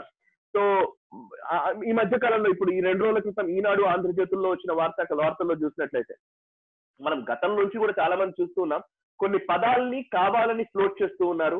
దేశ సార్వభౌమత్వానికి ఇబ్బంది కలిగే విధంగా ఫ్లోట్ చేస్తూ ప్రచారంలోకి తెస్తూ కుట్రపూరితంగా వాటిని ముందుకు తీసుకువెళ్ళే ప్రయత్నం చేస్తున్నారు. వాళ్ళ విషయంలో తస్మాత్ జాగ్రత్త. ఈ యొక్క విషయంతోనే నేను ఈ ఈ సెషన్ని క్లోజ్ చేస్తున్నాను. ఐఎమ్ సారీ నేను ఏమైనా తప్పుగా మాట్లాడి ఉంటే ఏమైనా ఇబ్బందులు ఉంటే and over to Murthy garu. Thank you very much for giving this opportunity sir thank you very much Sakshi garu. మీరు రకరకాల దేశాలు ఒక దేశం ఎదుగుతున్న దేశాన్ని ఏ విధంగా వాడిని అదుపులోకి తీసుకొని దాన్ని తొక్కాలి అభివృద్ధిని ఎట్లా కుంటుపరచాలనేది విభిన్న కోణాల్లో మీరు చాలా విశ్లేషించారు. మీరు ఈ క్వశ్చన్ మాట్లాడబడి నాకు రెండు మాటలు ఉన్నాయి దయచేసి. చెప్పు నా చిన్నప్పుడు ఎస్కస్ అని ఉండేది Indo Soviet cultural Soviet union. Hmm. Russia Hmm. అప్పుడు మేము ఎలిమెంటరీ స్కూల్లో కానీ సోవియట్ భూమి అని తెలుగులో ప్రత్యేకించి పుస్తకాలు మ్యాగజైన్ నుంచి ఫ్రీ డిస్ట్రిబ్యూట్ చేసేవాడు అంటే ఇప్పుడు ఏంటంటే దాంట్లో రష్యన్ లాంగ్వేజ్ నేర్చుకోవడానికి కూడా ప్లాస్టిక్ గ్రాఫోన్ రికార్డ్స్ కూడా ఇచ్చేవాడు Hmm. అంటే ఈ విధంగా ఒక మనుషుల్లో వాళ్ళ యొక్క ఆలోచనలు చొప్పించి ఆ మనలో చదువుకుంటున్న వాళ్ళని ఇన్స్పైర్ చేసి అక్కడ లుంబంబాయి యూనివర్సిటీలోకి అడ్మిషన్ చేయించేవాడు లుంబంబాయి యూనివర్సిటీ అంటే చదువుకున్నామంటే రష్యాకి వెళ్ళి చాలా మేధావులు అని ఒక భావన కల్పించేవాడు. సోవియట్ యూనియన్ అంటే మా మేనమావ ఉండేవారు సెకండ్ థింగ్ ఏంటంటే ఇప్పుడు ఇందాక మీరు అన్నారు ఆ రష్యా తర్వాత కూడా యూరోపియన్ కంట్రీస్ కానీ ఇవన్నీ కూడా ఏంటంటే యూనివర్సిటీలో ఎందుకు భారతదేశం మీద భారతీయ సంస్కృతి మీద అధ్యయనం చేయిస్తారు అంటే అక్కడ అధ్యయనం చేయించి ఆ ప్రొఫెసర్స్ అంతా కూడా ఒక పొలిటికల్ ప్యారలల్గా పొలిటికల్గా రన్ చేస్తుంటారు. ఆ పొలిటికల్ సెటప్ అంతా కూడా ప్రొఫెసర్లు హైలీ రెప్యూటెడ్ హార్వర్డ్ యూనివర్సిటీ చాలా గొప్ప అమ్మో గొప్పగా అనుకుంటాం. సో ఆయన యూనివర్సిటీలో జరిగినవి.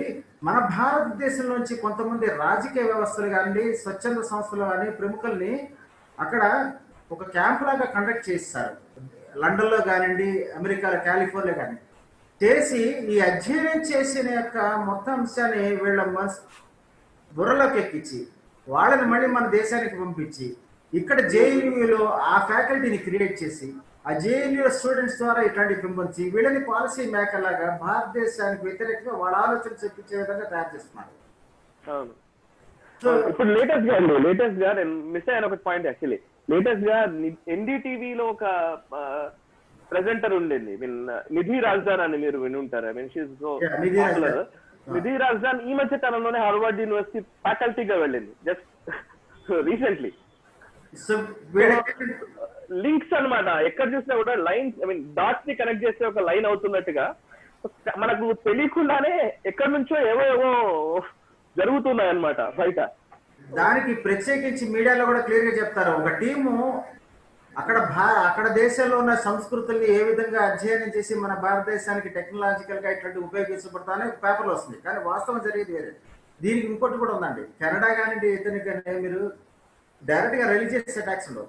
బట్ సినిమాలు కూడా తీస్తారు. మనం ఏదైతే పంచభూతాలు చెప్పే ఫైర్ సవనాజ్మి ద్వారా ఒకసారి సినిమా కూడా తీశారు. అవును అవును. సో దాని మీద బెనారస్ హిందూ యూనివర్సిటీలో కూడా చాలా ఉద్యమాలు జరిగాయి. చాలా సినిమాలు ఆఫీస్ అనేది తీశారు. So these are the things where మనము ఈ దేశ సౌభ్రాతను కాపాడుకోవాలంటే ప్రతి ఒక్కళ్ళు కూడా వాస్తవాన్ని తెలుసుకోవడానికి మీరు అందించిన అవసరం చాలా ఉంది. ఆ విధంలో మనం కూడా ఆలోచించుకోవాలి. రాజకీయ అభిమానం కుల మత అభిమానాలు అది వేరు. ఒక దేశం ఇంకో దేశంతో మనం సాగదీసుకోవాలంటే దాన్ని పొంగించుకోవాలంటే అభివృద్ధి పరచాలంటే దీన్ని తప్పనిసరి పట్టు తీసుకోవాలని నా భావన అండి. Thank you very much Saish Kumar మీరు ఇందాక చెప్పిన బ్రేకింగ్ ఇండియా పుస్తకం. Sir wonderful.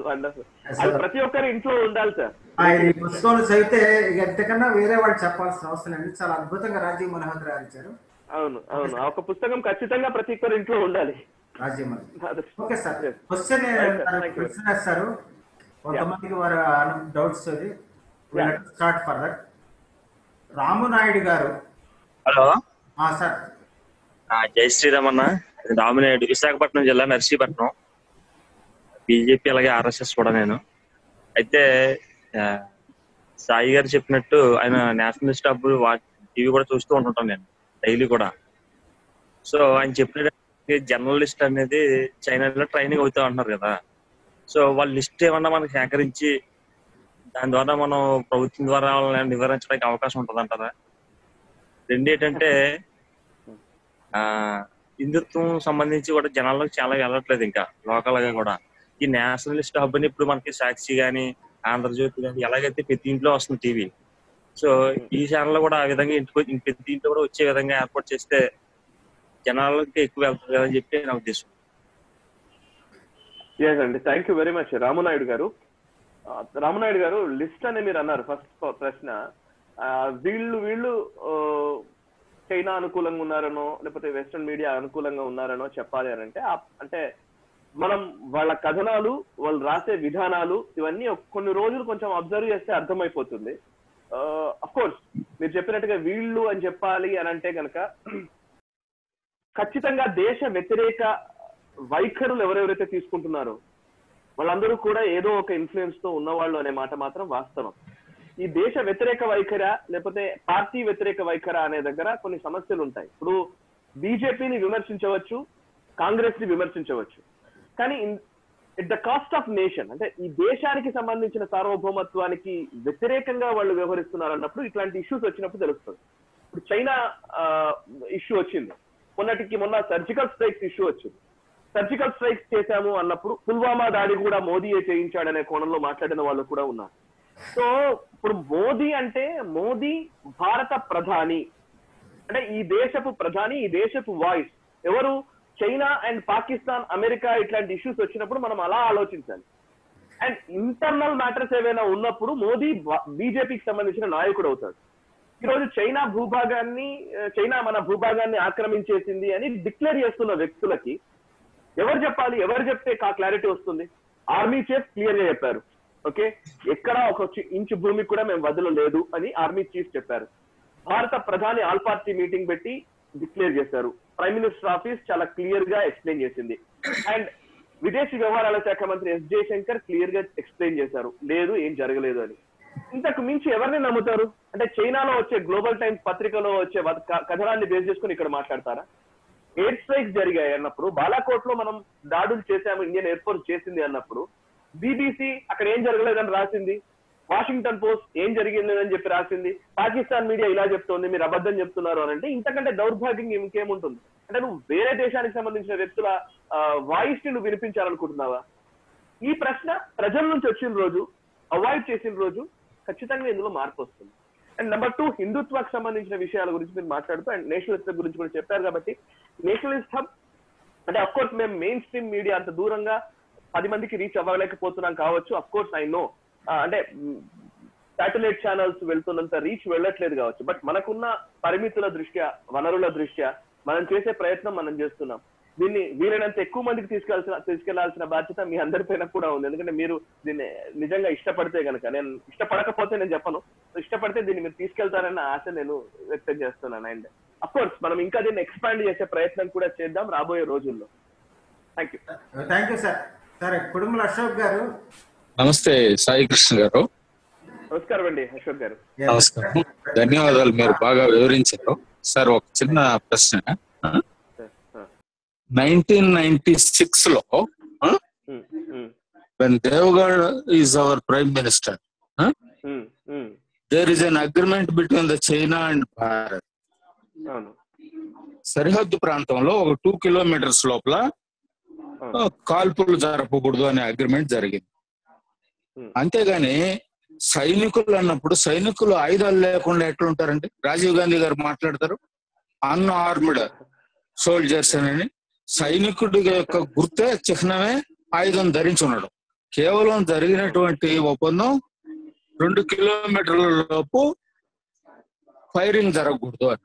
ఇదే ఒప్పందం టూ థౌజండ్ ఫైవ్లో కూడా రివైవ్ అయితే టూ థౌజండ్ ఎయిట్లో Sonia Gandhi and her family went to China వెళ్ళి ఆ రోజు వైస్ ప్రెసిడెంట్గా ఉన్నటువంటి జిన్పింగ్తో కలిసి గడిపారు మూడు రోజులు. వాళ్ళిద్దరి మధ్య ఏం ఒప్పందం జరిగింది అనేది ఇప్పటికీ నిగూఢమైనటువంటి రహస్యం. ఆ ఒప్పందానికి అనుకూలంగా ఈ రోజు భారతదేశంలో సోనియా గాంధీ కానివ్వండి ఈ ఆమె కుమారుడు best bachelor of Rahul Gandhi వీళ్ళు ప్రవర్తిస్తూ ఉన్నారు. ఎంత అనుకూలంగా చైనాకి మాట్లాడుతున్నారంటే అంత అనుకూలంగా మాట్లాడుతున్నారు. ఇక కమ్యూనిస్టుల సంగతి చెప్పలేం మనం. దేశం ప్రపంచం అంతా కమ్యూనిజం పోయింది. చనిపోయిన బల్లి తోకలో ప్రాణం ఉన్నట్టు ఇక్కడ కొట్టుకుంటా ఉన్నారు. అయినా వాళ్ళు చైనాని సమర్థిస్తూనే ఉన్నారు. ఇది ఎంతవరకు సమంజసం? ఒక పత్రికా విలేకరులుగా మంచి స్థాయి కలిగిన వ్యక్తిగా మీ సమాధానం ఏంటి? అసలు ఆ రిపబ్లిక్ టీవీలో ఒక డెబేట్ జరిగింది. ఆయన అడుగుతూనే ఉన్నాడు ఆర్నాబ్ గోయల్ గారు.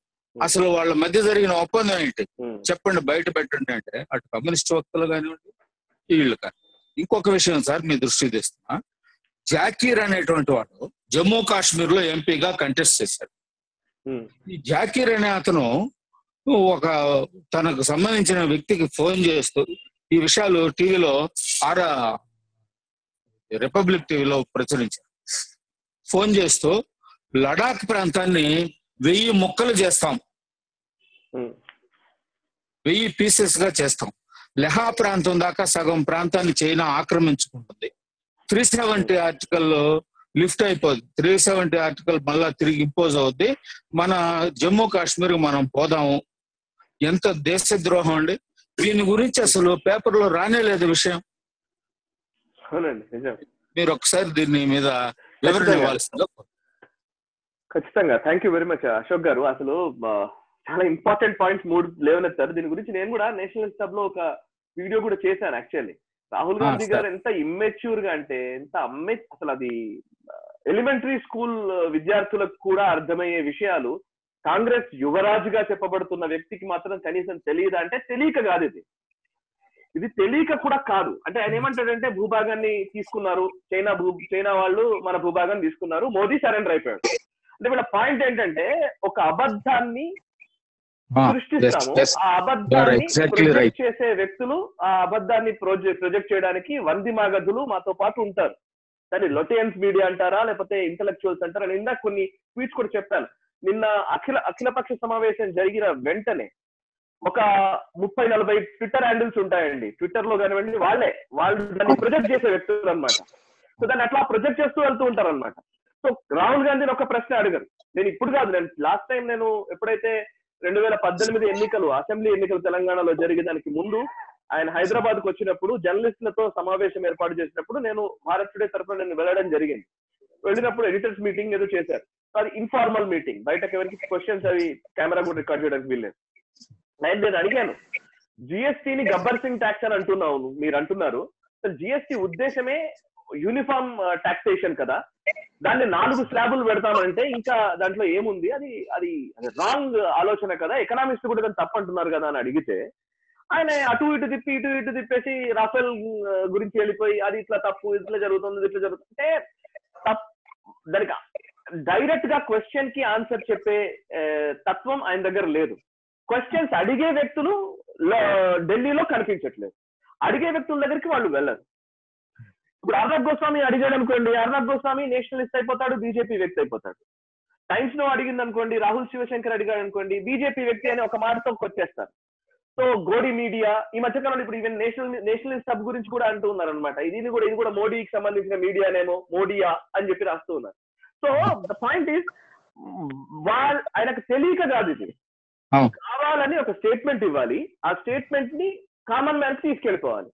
అవునా? మన చైనా భూభాగం పోయిందేమో అని ఒక సామాన్యుడు ఎక్కడో పల్లెటూరులో ఉన్న వ్యక్తి అయ్యో మోడీ అనుకున్నానే మోడీ చేయలేకపోయాడ?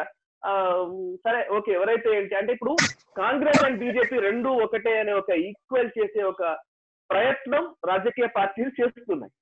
అది దీంట్లో భాగం కనబడుతుంది. And CPC communist party and Indian National Congress రెంటికి మధ్య ఒప్పందం జరిగిన మాట హండ్రెడ్ పర్సెంట్ వాస్తవం. దానికి సంబంధించిన కథనాలు ఉన్నాయి అది ఆ, ఒప్పందానికి సంబంధించి డైరెక్ట్గా పేపర్ స్టేట్మెంట్స్ ఉన్నాయి. రెండు వేల ఎనిమిదిలో ఎప్పుడైతే యూపీఏ అధికారంలో ఉన్న టైంలో. అండ్ మీరు ఒక్కసారి గమనించి చూస్తే మీకు నేను ఒకసారి గుర్తు చేద్దాం అనుకుంటాను అందరికీ కూడా. ఎప్పుడైతే కాందహార్ ఫ్లైట్ హైజాక్ జరిగిందో మన మన హైట్ ఫ్లైట్ని హైజాక్ చేసి కాందహార్ తీసుకువెళ్ళిన తర్వాత ఉగ్రవాదులు మసూద్ అజర్ని రిలీజ్ చేయమని కోరారు. అప్పటి విజువల్స్ నాకు ఇప్పటికీ గుర్తున్నాయి. నేను చాలా చిన్న పిల్లాడిని అప్పుడు నేను స్కూల్లోనే ఉన్నాను ఇంకప్పటికి అప్పుడు నాకు గుర్తు బాగా. అంటే ఆ చిన్న రెండు మూడు మీడియా సంస్థలే ఉన్నాయి అప్పుడు. ఈ బాధితుల్ని అందరినీ తీసుకొని వచ్చి పార్లమెంట్ ముందు నిరసన తెలిపించడము. అండ్ బాధితుల పక్షాన అయ్యో అందరూ అసలు కుటుంబ సభ్యులందరినీ తీసుకురావడము. సో మీరు వెంటనే మసూద్ అజర్ను వదులుతారా లేదా అని చెప్పి ఒక ప్రెషర్ బిల్డింగ్ టాక్టిక్స్ జరిగాయి. సో అప్పుడు అజిత్ దోవల్ ఇప్పుడున్న నేషనల్ సెక్యూరిటీ అడ్వైజర్ అజిత్ దోవలే ఆ మసూద్ అజర్ని క్యాష్ని తీసుకొని వెళ్ళి ఫ్లైట్లో ఉన్న ప్యాసింజర్స్ని రిలీజ్ చేసి తీసుకొచ్చారు. బట్ అదే అజిత్ దోవల్ సర్జికల్ స్ట్రైక్స్ లాంటి ఆపరేషన్స్ చేయగలిగారు బాలాకోట్ ఎయిర్ స్ట్రైక్స్ చేయించగలిగారు. ఈ రోజు చైనా డోక్లాన్ స్టాండ్ ఆఫ్ విషయంలో కావచ్చు విదేశీ వ్యవహారాల విషయంలో కావచ్చు నేషనల్ సెక్యూరిటీ అడ్వైజర్గా చాలా పటిష్టంగా వ్యవహరిస్తున్నారు. వాజ్పేయి పీరియడ్లో ఉన్నదానికి ఇప్పటికి డిఫరెన్స్ ఏంటంటే వాజ్పేయి పీరియడ్లో ఒక ఒక ఎక్కువ సిస్టమ్ చాలా బలంగా ఉండింది.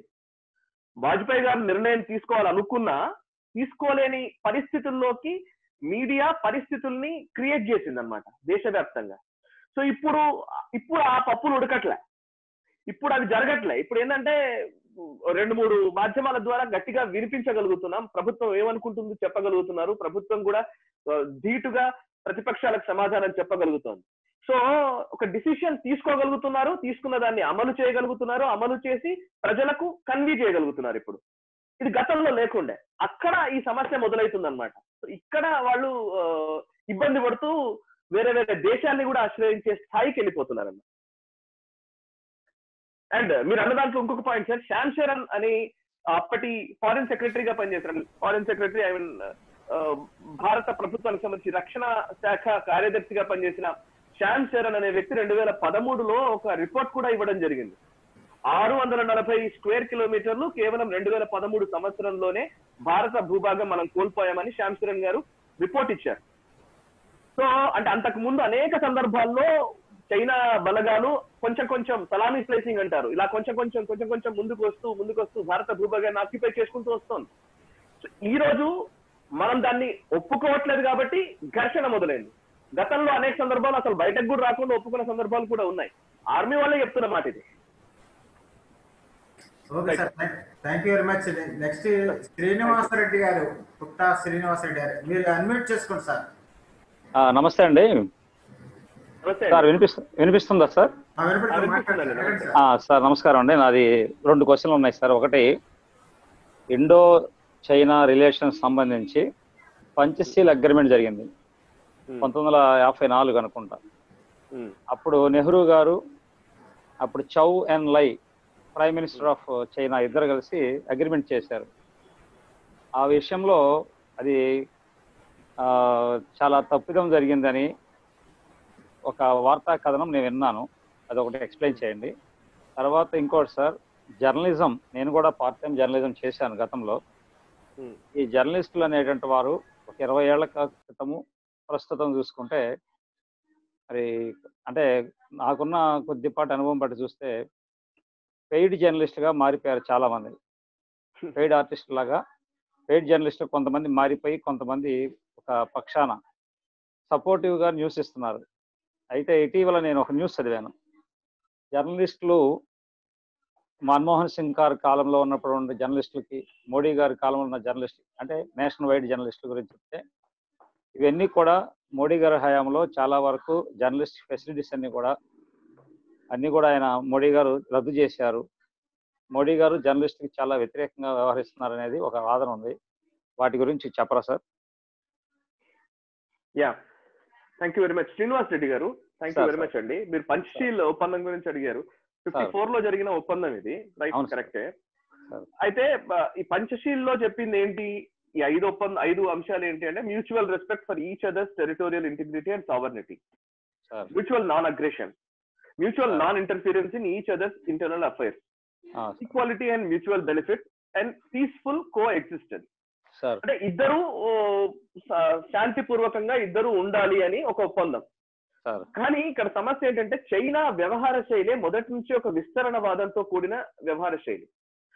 మావో నేతృత్వంలో అప్పుడు ప్రధానిగా ఉన్న ఈవెన్ జవహర్లాల్ నెహ్రూ గారికి అమెరికా అప్పటికే ఒక ఆఫర్ కూడా ఇచ్చింది విజయలక్ష్మి పండిట్ నెహ్రూ గారి సోదరైనటువంటి విజయలక్ష్మి పండిట్ అప్పుడు ఇండియన్ అంబాసిడర్గా అమెరికాలో ఉన్న. టైంలో ఆయనకి. ఆమెకి ఒక విషయాన్ని కూడా వాళ్ళు చెప్పారు. అమెరికన్ గవర్నమెంట్ నుంచి వచ్చిన లీక్ ఐ మీన్ ఒక ఆఫర్. ఏంటంటే భారత భారత్ని పర్మనెంట్ మెంబర్గా యునైటెడ్ నేషన్స్లో సెక్యూరిటీ కౌన్సిల్లో ఉంచాలనేది వాళ్ళు అనుకున్నారు.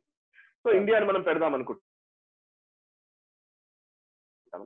నాన్ అలైన్ మూవ్మెంట్ అన్నాం కదా మనం అలీనోద్యమం. అనుకున్నాం కదా ఇద్దరికి మధ్య అటు ఇటు రష్యాకు ఇటు అమెరికాకి మధ్యలో మనం ఉండాలనే ఉద్దేశంతో నెహ్రూ గారు సో మేము ఈ కోల్డ్ వార్లో వీళ్ళిద్దరి మధ్య మనం ఉండకూడదు అనే ఒక అభిప్రాయంతో ఆయన వద్దు మాకేం అక్కర్లేదని చైనాకు ఆఫర్ చేశారనే విషయం రికార్డెడ్. ఇవన్నీ దానికి. సంబంధించిన విషయాలన్నీ తెలిసినవే అయితే ఆ. తర్వాత కొంతకాలానికి మళ్ళీ ఇప్పుడు ఈ మధ్య కాలంలో ఏంటంటే ఈ విషయం ఎప్పుడైతే ప్రస్తావనలోకి వచ్చిన వెంటనే ఇప్పుడు ఏం చేస్తున్నారంటే అసలు అట్లాంటి ఆఫరే రాలేదు అని చెప్పే ప్రయత్నం కూడా ఒక ఒక వర్గం మీడియా చేస్తోంది అవునవును ఎందుకంటే అసలు ఆఫరే రాలేదు నెహ్రూ గొప్పతనాన్ని ఎక్కడ తగ్గిస్తారో అనే ఉద్దేశంతో ఆయన్ని సబ్సైడ్ చేసే ప్రయత్నం చేస్తున్న వాళ్ళు కూడా ఉన్నారు. సరే అయితే నెహ్రూ పంతొమ్మిది వందల యాభై నాలుగులో ఏదై యాభైలో నుంచే టిబెట్ ఆక్రమణ జరిగిపోయింది చైనా ఆక్రమించేసుకుంటూ ఉంది- వస్తోంది. కంటిన్యూస్గా వాళ్ళు వాళ్ళు ఏం చేస్తారంటే వచ్చేసి ఆక్యుపై చేసుకుంటూ వెళ్ళిపోతూనే ఉంటారు. సో ఆక్సైచిన్ విషయంలో మనము అప్పటికి మనం పంచశీల ఒప్పందం చేసుకొని హిందీ చీనీ బాయ్ బాయ్ అసలు ఏ ప్రాబ్లం లేదు మనకు. ఇద్దరు రెండు దేశాలు బాగుంటాయని చాలా హ్యాపీగా ఇంట్లో కూర్చున్న పరిస్థితి అప్పుడు భారత ప్రభుత్వం. కానీ సరిహద్దు దేశాలతో మనం కొంత జాగ్రత్తగా ఉండాలి. మనం ఆర్మీని సరిగ్గా త్రివిధ దళాల్ని ఎలా ఉపయోగించుకోవాలి? వాళ్ళని ఎలా సన్నద్ధం చేయాలి? రక్షణ రంగం అనేది అసలు అవసరం అనే కోణంలో కనీసం ఆలోచించలేదని రక్షణ రంగ నిపుణులు అనేక సందర్భాల్లో చెప్తారు నెహ్రూ హయాంలో. So fifty four fifty four నుంచి ఫిఫ్టీ ఎయిట్ మధ్య కాలంలో ఆక్సైచిన్లో రోడ్లు వేసుకోవడము ఆక్రమించడము లోపలికి రావడము ఇవన్నీ జరుగుతున్నాయని అసలు మన భారత ప్రభుత్వం గుర్తించలేదు అని రక్షణ రంగ నిపుణులు చెప్పే మాట.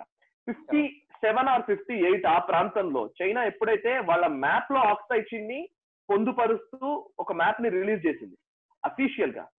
అప్పుడు ఇండియన్ గవర్నమెంట్ రెస్పాండ్ అవ్వడం మొదలుపెట్టింది. తర్వాత ఫార్వర్డ్ పాలసీ అన్నారు ముందుకు లోపలికి తీసుకువెళ్ళాలన్నారు ఇదంతా చేశారు. తర్వాత సిక్స్టీలో మళ్ళీ ఒక ఒప్పందం జరిగింది. పంతొమ్మిది వందల అరవైలో ఒప్పందం జరగడం కోసం చర్చలు జరిగాయి. సారీ చౌవెన్ లైక్ నెహ్రూ గారికి మధ్య పంతొమ్మిది వందల అరవైలో చర్చలు జరిగాయి చర్చలు విఫలమయ్యాయి. ఆక్సైచిన్ మాది అని వాళ్ళు అన్నారు లేదు మాది అని చెప్పి మనం అన్నాము దాన్ని చైనా ఒప్పుకోలేదు. సో విఫలమయ్యాయి. ఆ తర్వాత ఫార్వర్డ్ పాలసీ పెట్టుకొని మనం ముందుకు వెళుతూ ఉంటే చైనా సైన్యం డైరెక్ట్గా వచ్చేసింది. ఫార్వర్డ్ పాలసీ ఎప్పుడు పెట్టుకోవాలి? మనం సన్నద్ధంగా ఉన్నామా? డిఫెన్స్ పరంగా మనం గట్టిగా ఉన్నామా? మనం మనల్ని మనం ప్రొటెక్ట్ చేసుకోగలుగుతామా అనే కనీస స్పృహ లేకుండా ఫార్వర్డ్ పాలసీ తీసుకున్నారనే ఒక అభిప్రాయం కూడా రక్షణ రంగ నిపుణులు చేస్తున్న మాట. సో అవేవీ లేకుండా కనీసం బూట్లు లేని పరిస్థితి ఉంది అనేది వాళ్ళు చెప్తున్న మాట కదా. అదే టైంలో జీప్ స్కాండిల్ జరిగింది. ముఖ్యంగా డిఫెన్స్ జీప్ స్కాండల్ కూడా అప్పుడే జరిగింది. సో మొదటి scandal in defence forces so defence procurements విషయంలో. సో పంచశీల్ పంచశీల్ ఫెయిల్ అయింది అని అంటే అసలు పంచశీల్ ఒకవైపు నుంచి వచ్చింది. చైనా ఎప్పుడు కూడా పంచశీల్ మనం కట్టుబడి ఉండాలని ఎప్పుడు అనుకోలేదు. అనుకోలేదు కాబట్టి ఆబ్వియస్లీ దాని స్పిరిట్ కంటిన్యూ అవ్వదు. సో మనం మాత్రమే హిందీ చీని బాయ్ బాయ్ అనే వ్యక్తులం. సో చైనా ఎప్పుడు జస్ట్ అవకాశవాదానికి మాత్రమే వాడుకుంటుంది ఆ పదాన్ని. సో ఆ తర్వాత మీరు ఇందాక ఇంకొక ప్రశ్న ఏదో అడిగారు ఇంకోటి ఏంటి? అది journalist journalist. Journalist. Okay. So జర్నలిస్ట్లకు సంబంధించి సార్ ఇప్పుడు మోదీ గవర్నమెంట్ వచ్చాక జర్నలిస్ట్లకు నిజంగా వాయిస్ లేకుండా చేస్తోంది అనేది కదా? సో మోదీ ప్రధాని అయిన తర్వాత జర్నలిస్ట్లకి వాయిస్ లేకుండా చేయడం కాదు. మోదీ ప్రధానిగా అయిన తర్వాత కొంతమంది జర్నలిస్టులకు మింగుడు పడడం లేదు. This is the truth so అందులో ఏంటంటే నేను గతంలో మీరు గమనించి చూస్తే నీరా రాడియా టేపులని అప్పట్లో యూపీఐ టైంలో బయటకు వచ్చాయి బర్ఖాదత్ అంటే మీకు గుర్తుంటే నాకు సిఎన్ఎన్ ఐబిఎన్ టైమ్స్ నౌ లేకపోతే ఎన్డీటీవీ ఇవన్నీ ఒక టైంలో వెలుగు వెలిగిన సంస్థలు. అందులో ఈ రోజు మనం మాట్లాడుతున్న వ్యక్తులు నేను ఒకప్పుడు విపరీతంగా చూసేవాడినే ఆ వ్యక్తులందరూ ఎవరెవరంటే రాజ్దీప్ సర్దేశాయ్ Hmm. శేఖర్ గుప్తా బర్ఖాదత్ ఓకే కరణ్ థాపర్ ప్రణయ్ రాయ్ ఆ, ప్రణయ్ రాయ్ సో ఇట్లా ఇట్లా కొన్ని పేర్లు వీళ్ళందరూ కూడా టూ థౌజండ్ నుంచి టూ థౌజండ్ ఫోర్టీన్ వరకు ఒక వెలుగు వెలిగిన జర్నలిస్టులు నేషనల్ మీడియాలో. అండ్ రవీష్ కుమార్ వీళ్ళంతా. సో ఒక సార్? ఆ, సభ. ఇక వీళ్ళ ఉన్నారు. చాలా మంది ఉన్నారు. నాకు పేరు అంటే మేజర్గా ఏంటంటే ప్రెజెంటర్స్గా అందరికి ఎక్కువ సుపరిచితం అందరినీ కార్నర్ చేస్తున్నారు చాలా అద్భుతంగా అడుగుతున్నారు. కరణ్ థాపర్ గారి డెవిల్స్ అడ్వకేట్ నేను అసలు క్రమం తప్పకుండా చూసేవాడిని. టైంలో అయితే డెవిల్స్ అడ్వకేట్ అనేది అసలు ప్రతి ఒక్కరిని చాలా ఎంత నిక్కచ్చిగా అడుగుతున్నాడు అనిపించేది. సో ఇవన్నీ ఎప్పుడు అర్థమయ్యాయంటే ఇవన్నీ ఒక వర్గానికి అనుకూలంగా సంస్థలను తర్వాత అర్థమైంది. అదే విషయం. సో ఇవన్నీ ఆయన ఎప్పుడో గుర్తించారు. ఇప్పుడు మీరు రాజదీప్ సర్దేశాయ్ గారి విషయంలో ఒక విషయం ఎప్పుడు అందరూ మాట్లాడుతూ ఉంటారు. అది నేను నాకే అది నిజమో నాకు తెలి కాదో నాకు తెలియదు కానీ బట్ నేను I'm just sharing with you. నేను నిజం తెలియకుండా నేను మాట్లాడను బట్ అనుకుంటున్న విషయం చెప్తాను. అదేంటంటే రాజదీప్ సర్దేశాయ్ గారు ఒక టైంలో ఏదైతే ఈ పార్లమెంట్లో వాజ్పేయి ప్రభుత్వానికి వ్యతిరేకంగా అవిశ్వాస తీర్మానం ప్రవేశపెట్టిన టైంలో నోట్లు పంపిణీ జరిగింది ఆ టైంలో పార్లమెంట్లోనే ఆ విజువల్స్ని రాజీవ్ సర్దేశ గారు రికార్డ్ చేశారు కానీ దాన్ని ప్లే చేయలేదు. లాస్ట్ మూమెంట్లో వాజ్పేయి గారికి ప్లే చేస్తారు ప్లే చేసి దాన్ని ప్రతిపక్షాన్ని ప్రతిపక్షాన్ని పెడతారని చెప్పారు కానీ తర్వాత చేయలేదు అని ఒక అభిప్రాయం ఉంది. అండ్ ఆ తర్వాత రెండు వేల రెండు గుజరాత్ రైట్స్ సందర్భం నుంచి కూడా కూన్కి దళాలి మౌత్కి సోదాగర్ ఇట్లాంటి వ్యాఖ్యలతో నరేంద్ర మోదీని ఎంతగా ఎరుకున పెట్టాలో అంతగా ఆ- ఆ ప్రభుత్వాన్ని గుజరాత్ ప్రభుత్వాన్ని టార్గెట్ చేస్తూ వెళ్ళిన వ్యక్తులు చాలా మంది ఉన్నారు. సో వాళ్ళ వాళ్ళందరూ ఈ రోజు లైన్ లైట్లో లేరు అంతే. సో వాళ్ళు లైన్ లైట్లో ఈ రోజు లేరు కాబట్టి ఆబ్వియస్లీ మీడియా డేంజరస్ పొజిషన్లో ఉందని చెప్తారు. చెప్పేవాళ్ళు వాళ్ళే. సో ఆ మీడియా డేంజరస్ పొజిషన్లో ఉంది. డెమోక్రసీ డేంజరస్లో ఉంది అండ్ ఫ్రీడమ్ ఆఫ్ ఎక్స్ప్రెషన్ లేకుండా పోతుంది ఫ్రీడమ్ ఆఫ్ ప్రెస్ లేదు అని చెప్పే వాళ్ళందరూ కూడా గతంలో అదే గతంలో ఏదో ఒక గొప్ప పొజిషన్స్లో ఉన్నవాళ్ళు. ఎందుకంటే నేను సోనియా గాంధీ గారి ఇంటర్వ్యూ ఉంటుంది. సోనియా గాంధీ గారిని యూపీఏ చైర్పర్సన్గా ఉన్న సోనియా గాంధీ ఇంటర్వ్యూ రాజ్దీప్ సర్దేశాయ్ చేస్తారు. ఎంత అద్భుతంగా అంటే మీరు అత్తా కోడళ్ళు ఎలా ఉండేవాళ్ళు? మీకు ఎటువంటి వంటలు ఇష్టం? ఇట్లాంటి ప్రశ్నలు అడుగుతారు. యూపీఏ విపరీతమైన స్కాముల్లో కూరుకుపోతున్న టైంలో ఆయన అడిగిన ప్రశ్నలు ఇవి సో టఫ్ క్వశ్చన్స్ ఎలా అడుగుతారు? ఇది ఒక ప్రశ్న. శేఖర్ గుప్తా ఇట్లాంటి ఇంటర్వ్యూస్ వాక్ ద టాక్ అని ఒక ఇంటర్వ్యూస్ చేసేవాళ్ళు. నేను నేను అన్ని చూస్తాను. అన్ని అన్ని ఇప్పటికీ నాకు బాగా గుర్తు కూడా క్వశ్చన్స్తో సహా. శేఖర్ గుప్తా అసలు ఎట్లాగంటే ఎంత సింపుల్ క్వశ్చన్స్ అనమాట చాలా సింపుల్గా లైటర్ వేన్లో వెళ్ళిపోయేలా క్వశ్చన్స్ ఉంటాయి. వేరే అపోజిషన్ పార్టీస్ బీజేపీ ఇట్లాంటివి వచ్చాయనుకోండి మీరు మతత్వవాదులు మీరు ఇట్లా మీరు ఎట్లా అని చాలా టఫ్ క్వశ్చన్స్ ఉంటాయి అనమాట ప్రొజెక్షన్ అనేది నరేటివ్ బిల్డింగ్ అనేది అక్కడ నుంచే జరిగింది.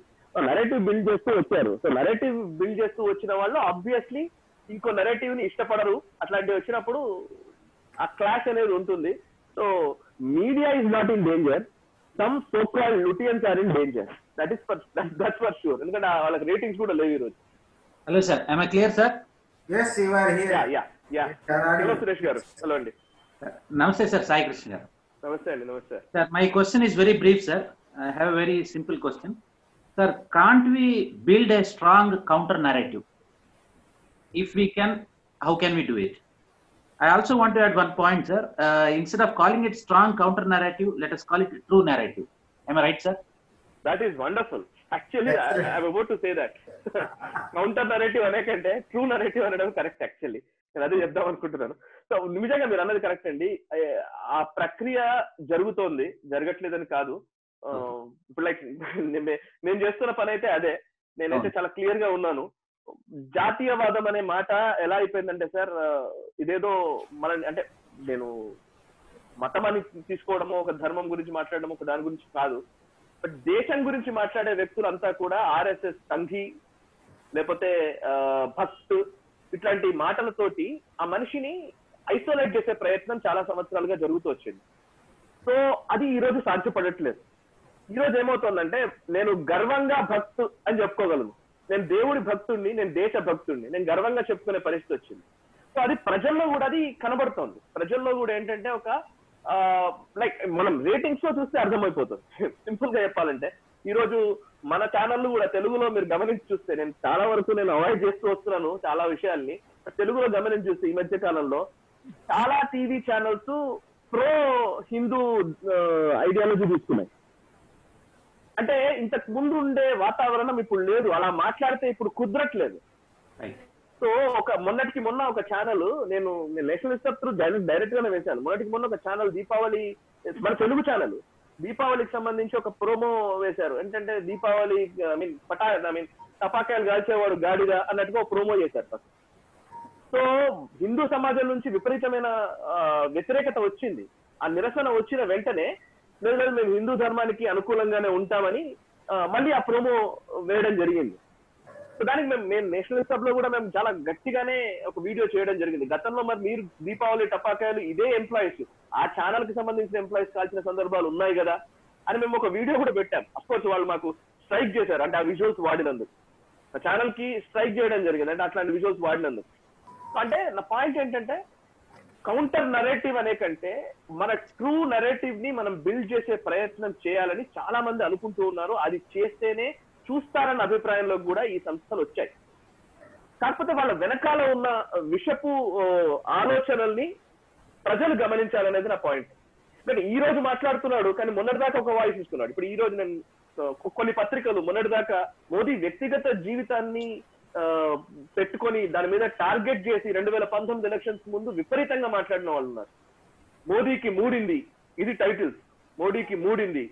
ఆ, అసలు ఇంకా మొత్తం మా- రాష్ట్రాలకు ఏమి ఇస్తున్నారు? అంటే south India north north India అనే ఒక కోణం. సో మేము ఇచ్చే మాకేమి ఇవ్వట్లేదు. అంటే ప్రతి అంశాన్ని ఆ- కోణంలో హైలైట్ చేస్తారు. అంటే మీరు గుర్తుంచుకుంటే రాష్ట్రానికి జరిగిన అన్యాయం అనే మాటని పదే పదే అన్ని రాష్ట్రాలు మాట్లాడినాయి. అన్ని అన్ని అన్ని ఛానళ్ళు మాట్లాడినాయి. ఒక సందర్భంలో అయితే మేము నేను వేరే ఛానల్లో భారత్ స్టూడియోలో పనిచేసినప్పుడు ఒక సబ్ ఎడిటర్ ఆ ఫ్లోలో రాష్ట్రానికి జరిగిన అన్యాయం అంటే రాయడం చెప్తున్నాను నేను. రాష్ట్రానికి జరిగిన అన్యాయంపై టీడీపీ అధినేత చంద్రబాబు నాయుడు ఢిల్లీకి వెళ్తున్నారు. అని రాసేశాడు. రాగానే రాష్ట్రానికి జరిగిన అన్యాయం అని ఎవరు డిసైడ్ చేస్తున్నారు? జర్నలిస్ట్ డిసైడ్ చేస్తున్నాడా? రాష్ట్రానికి అసలు అన్యాయం జరిగిందా? జరగలేదా? ఇది కదా డిబేట్ ఇంకా ఇంకా డిబేటబుల్ నడుస్తోంది. బీజేపీ ఏమో జరిగిందని చెప్తోంది. టీడీపీ ఏమో జరగలేదు అంటుంది బట్ జరిగిందని నువ్వు డిసైడ్ చేస్తున్నావు. సో రాష్ట్రానికి జరిగిన అన్యాయంపై రాష్ట్రానికి జరిగిన అన్యాయంపై అది ఖచ్చితంగా ప్రతి ఛానల్ ప్రతి పేపరు ప్రతి వ్యక్తి దాన్ని అలా మాట్లాడుకుంటారు. అంటే రాష్ట్రానికి అన్యాయం జరిగింది అన్యాయం జరిగింది అన్యాయం జరిగింది. ఇది ఇది సైకలాజికల్లీ మనల్ని దాంట్లో పడేయడం అన్నమాట. భ్రమరకేట ఈ న్యాయం. రోజు ఈ రోజు అవే పార్టీలు ఈ రోజు అవే పార్టీలు రాష్ట్రానికి అన్యాయం జరగ జరిగిన విషయం మళ్ళీ మాట్లాడట్లేదు అసలు. ఆ రోజు మాట్లాడేది సో కౌంటర్ ఏది నిజమని చెప్పే ప్రయత్నంలో భాగంగా మనల్ని అందులో నెట్టేసే ప్రయత్నం చేస్తూ ఉన్నారు. Mean, మనం మామూలుగా ఆలోచించి చూసినప్పుడు ఈవెన్ జగన్ అక్రమాస్తులు. సింపుల్గా మాట్లాడితే జగన్ అక్రమాస్తులు అని అన్ని పేపర్లు రాస్తాయి. అక్రమమా సక్రమమా ఎవరు డిసైడ్ చేయాలి? సో ఈ ప్రశ్నలో నాకు చాలా సార్లు వచ్చినాయి. చాలా సార్లు మాట్లాడుకున్నాం మేము. అంటే జర్నలిస్టులు కూడా అంటే మనకు తెలియకుండానే ఆ ఫ్లోలో వెళ్ళిపోతాం అనమాట అది అది మోదీ అయినా చంద్రబాబు అయినా జగన్ అయినా ఇంకొకరైనా ఇంకొకరైనా. కాకపోతే జాతీయవాద దృక్పథానికి సంబంధించిన వార్తలు ఇస్తేనే చూస్తారు అనే ఒక ప్రెషర్ బిల్డ్ అయిన రోజు ఆ సంస్థలన్నీ దారిలోకి వస్తాయి.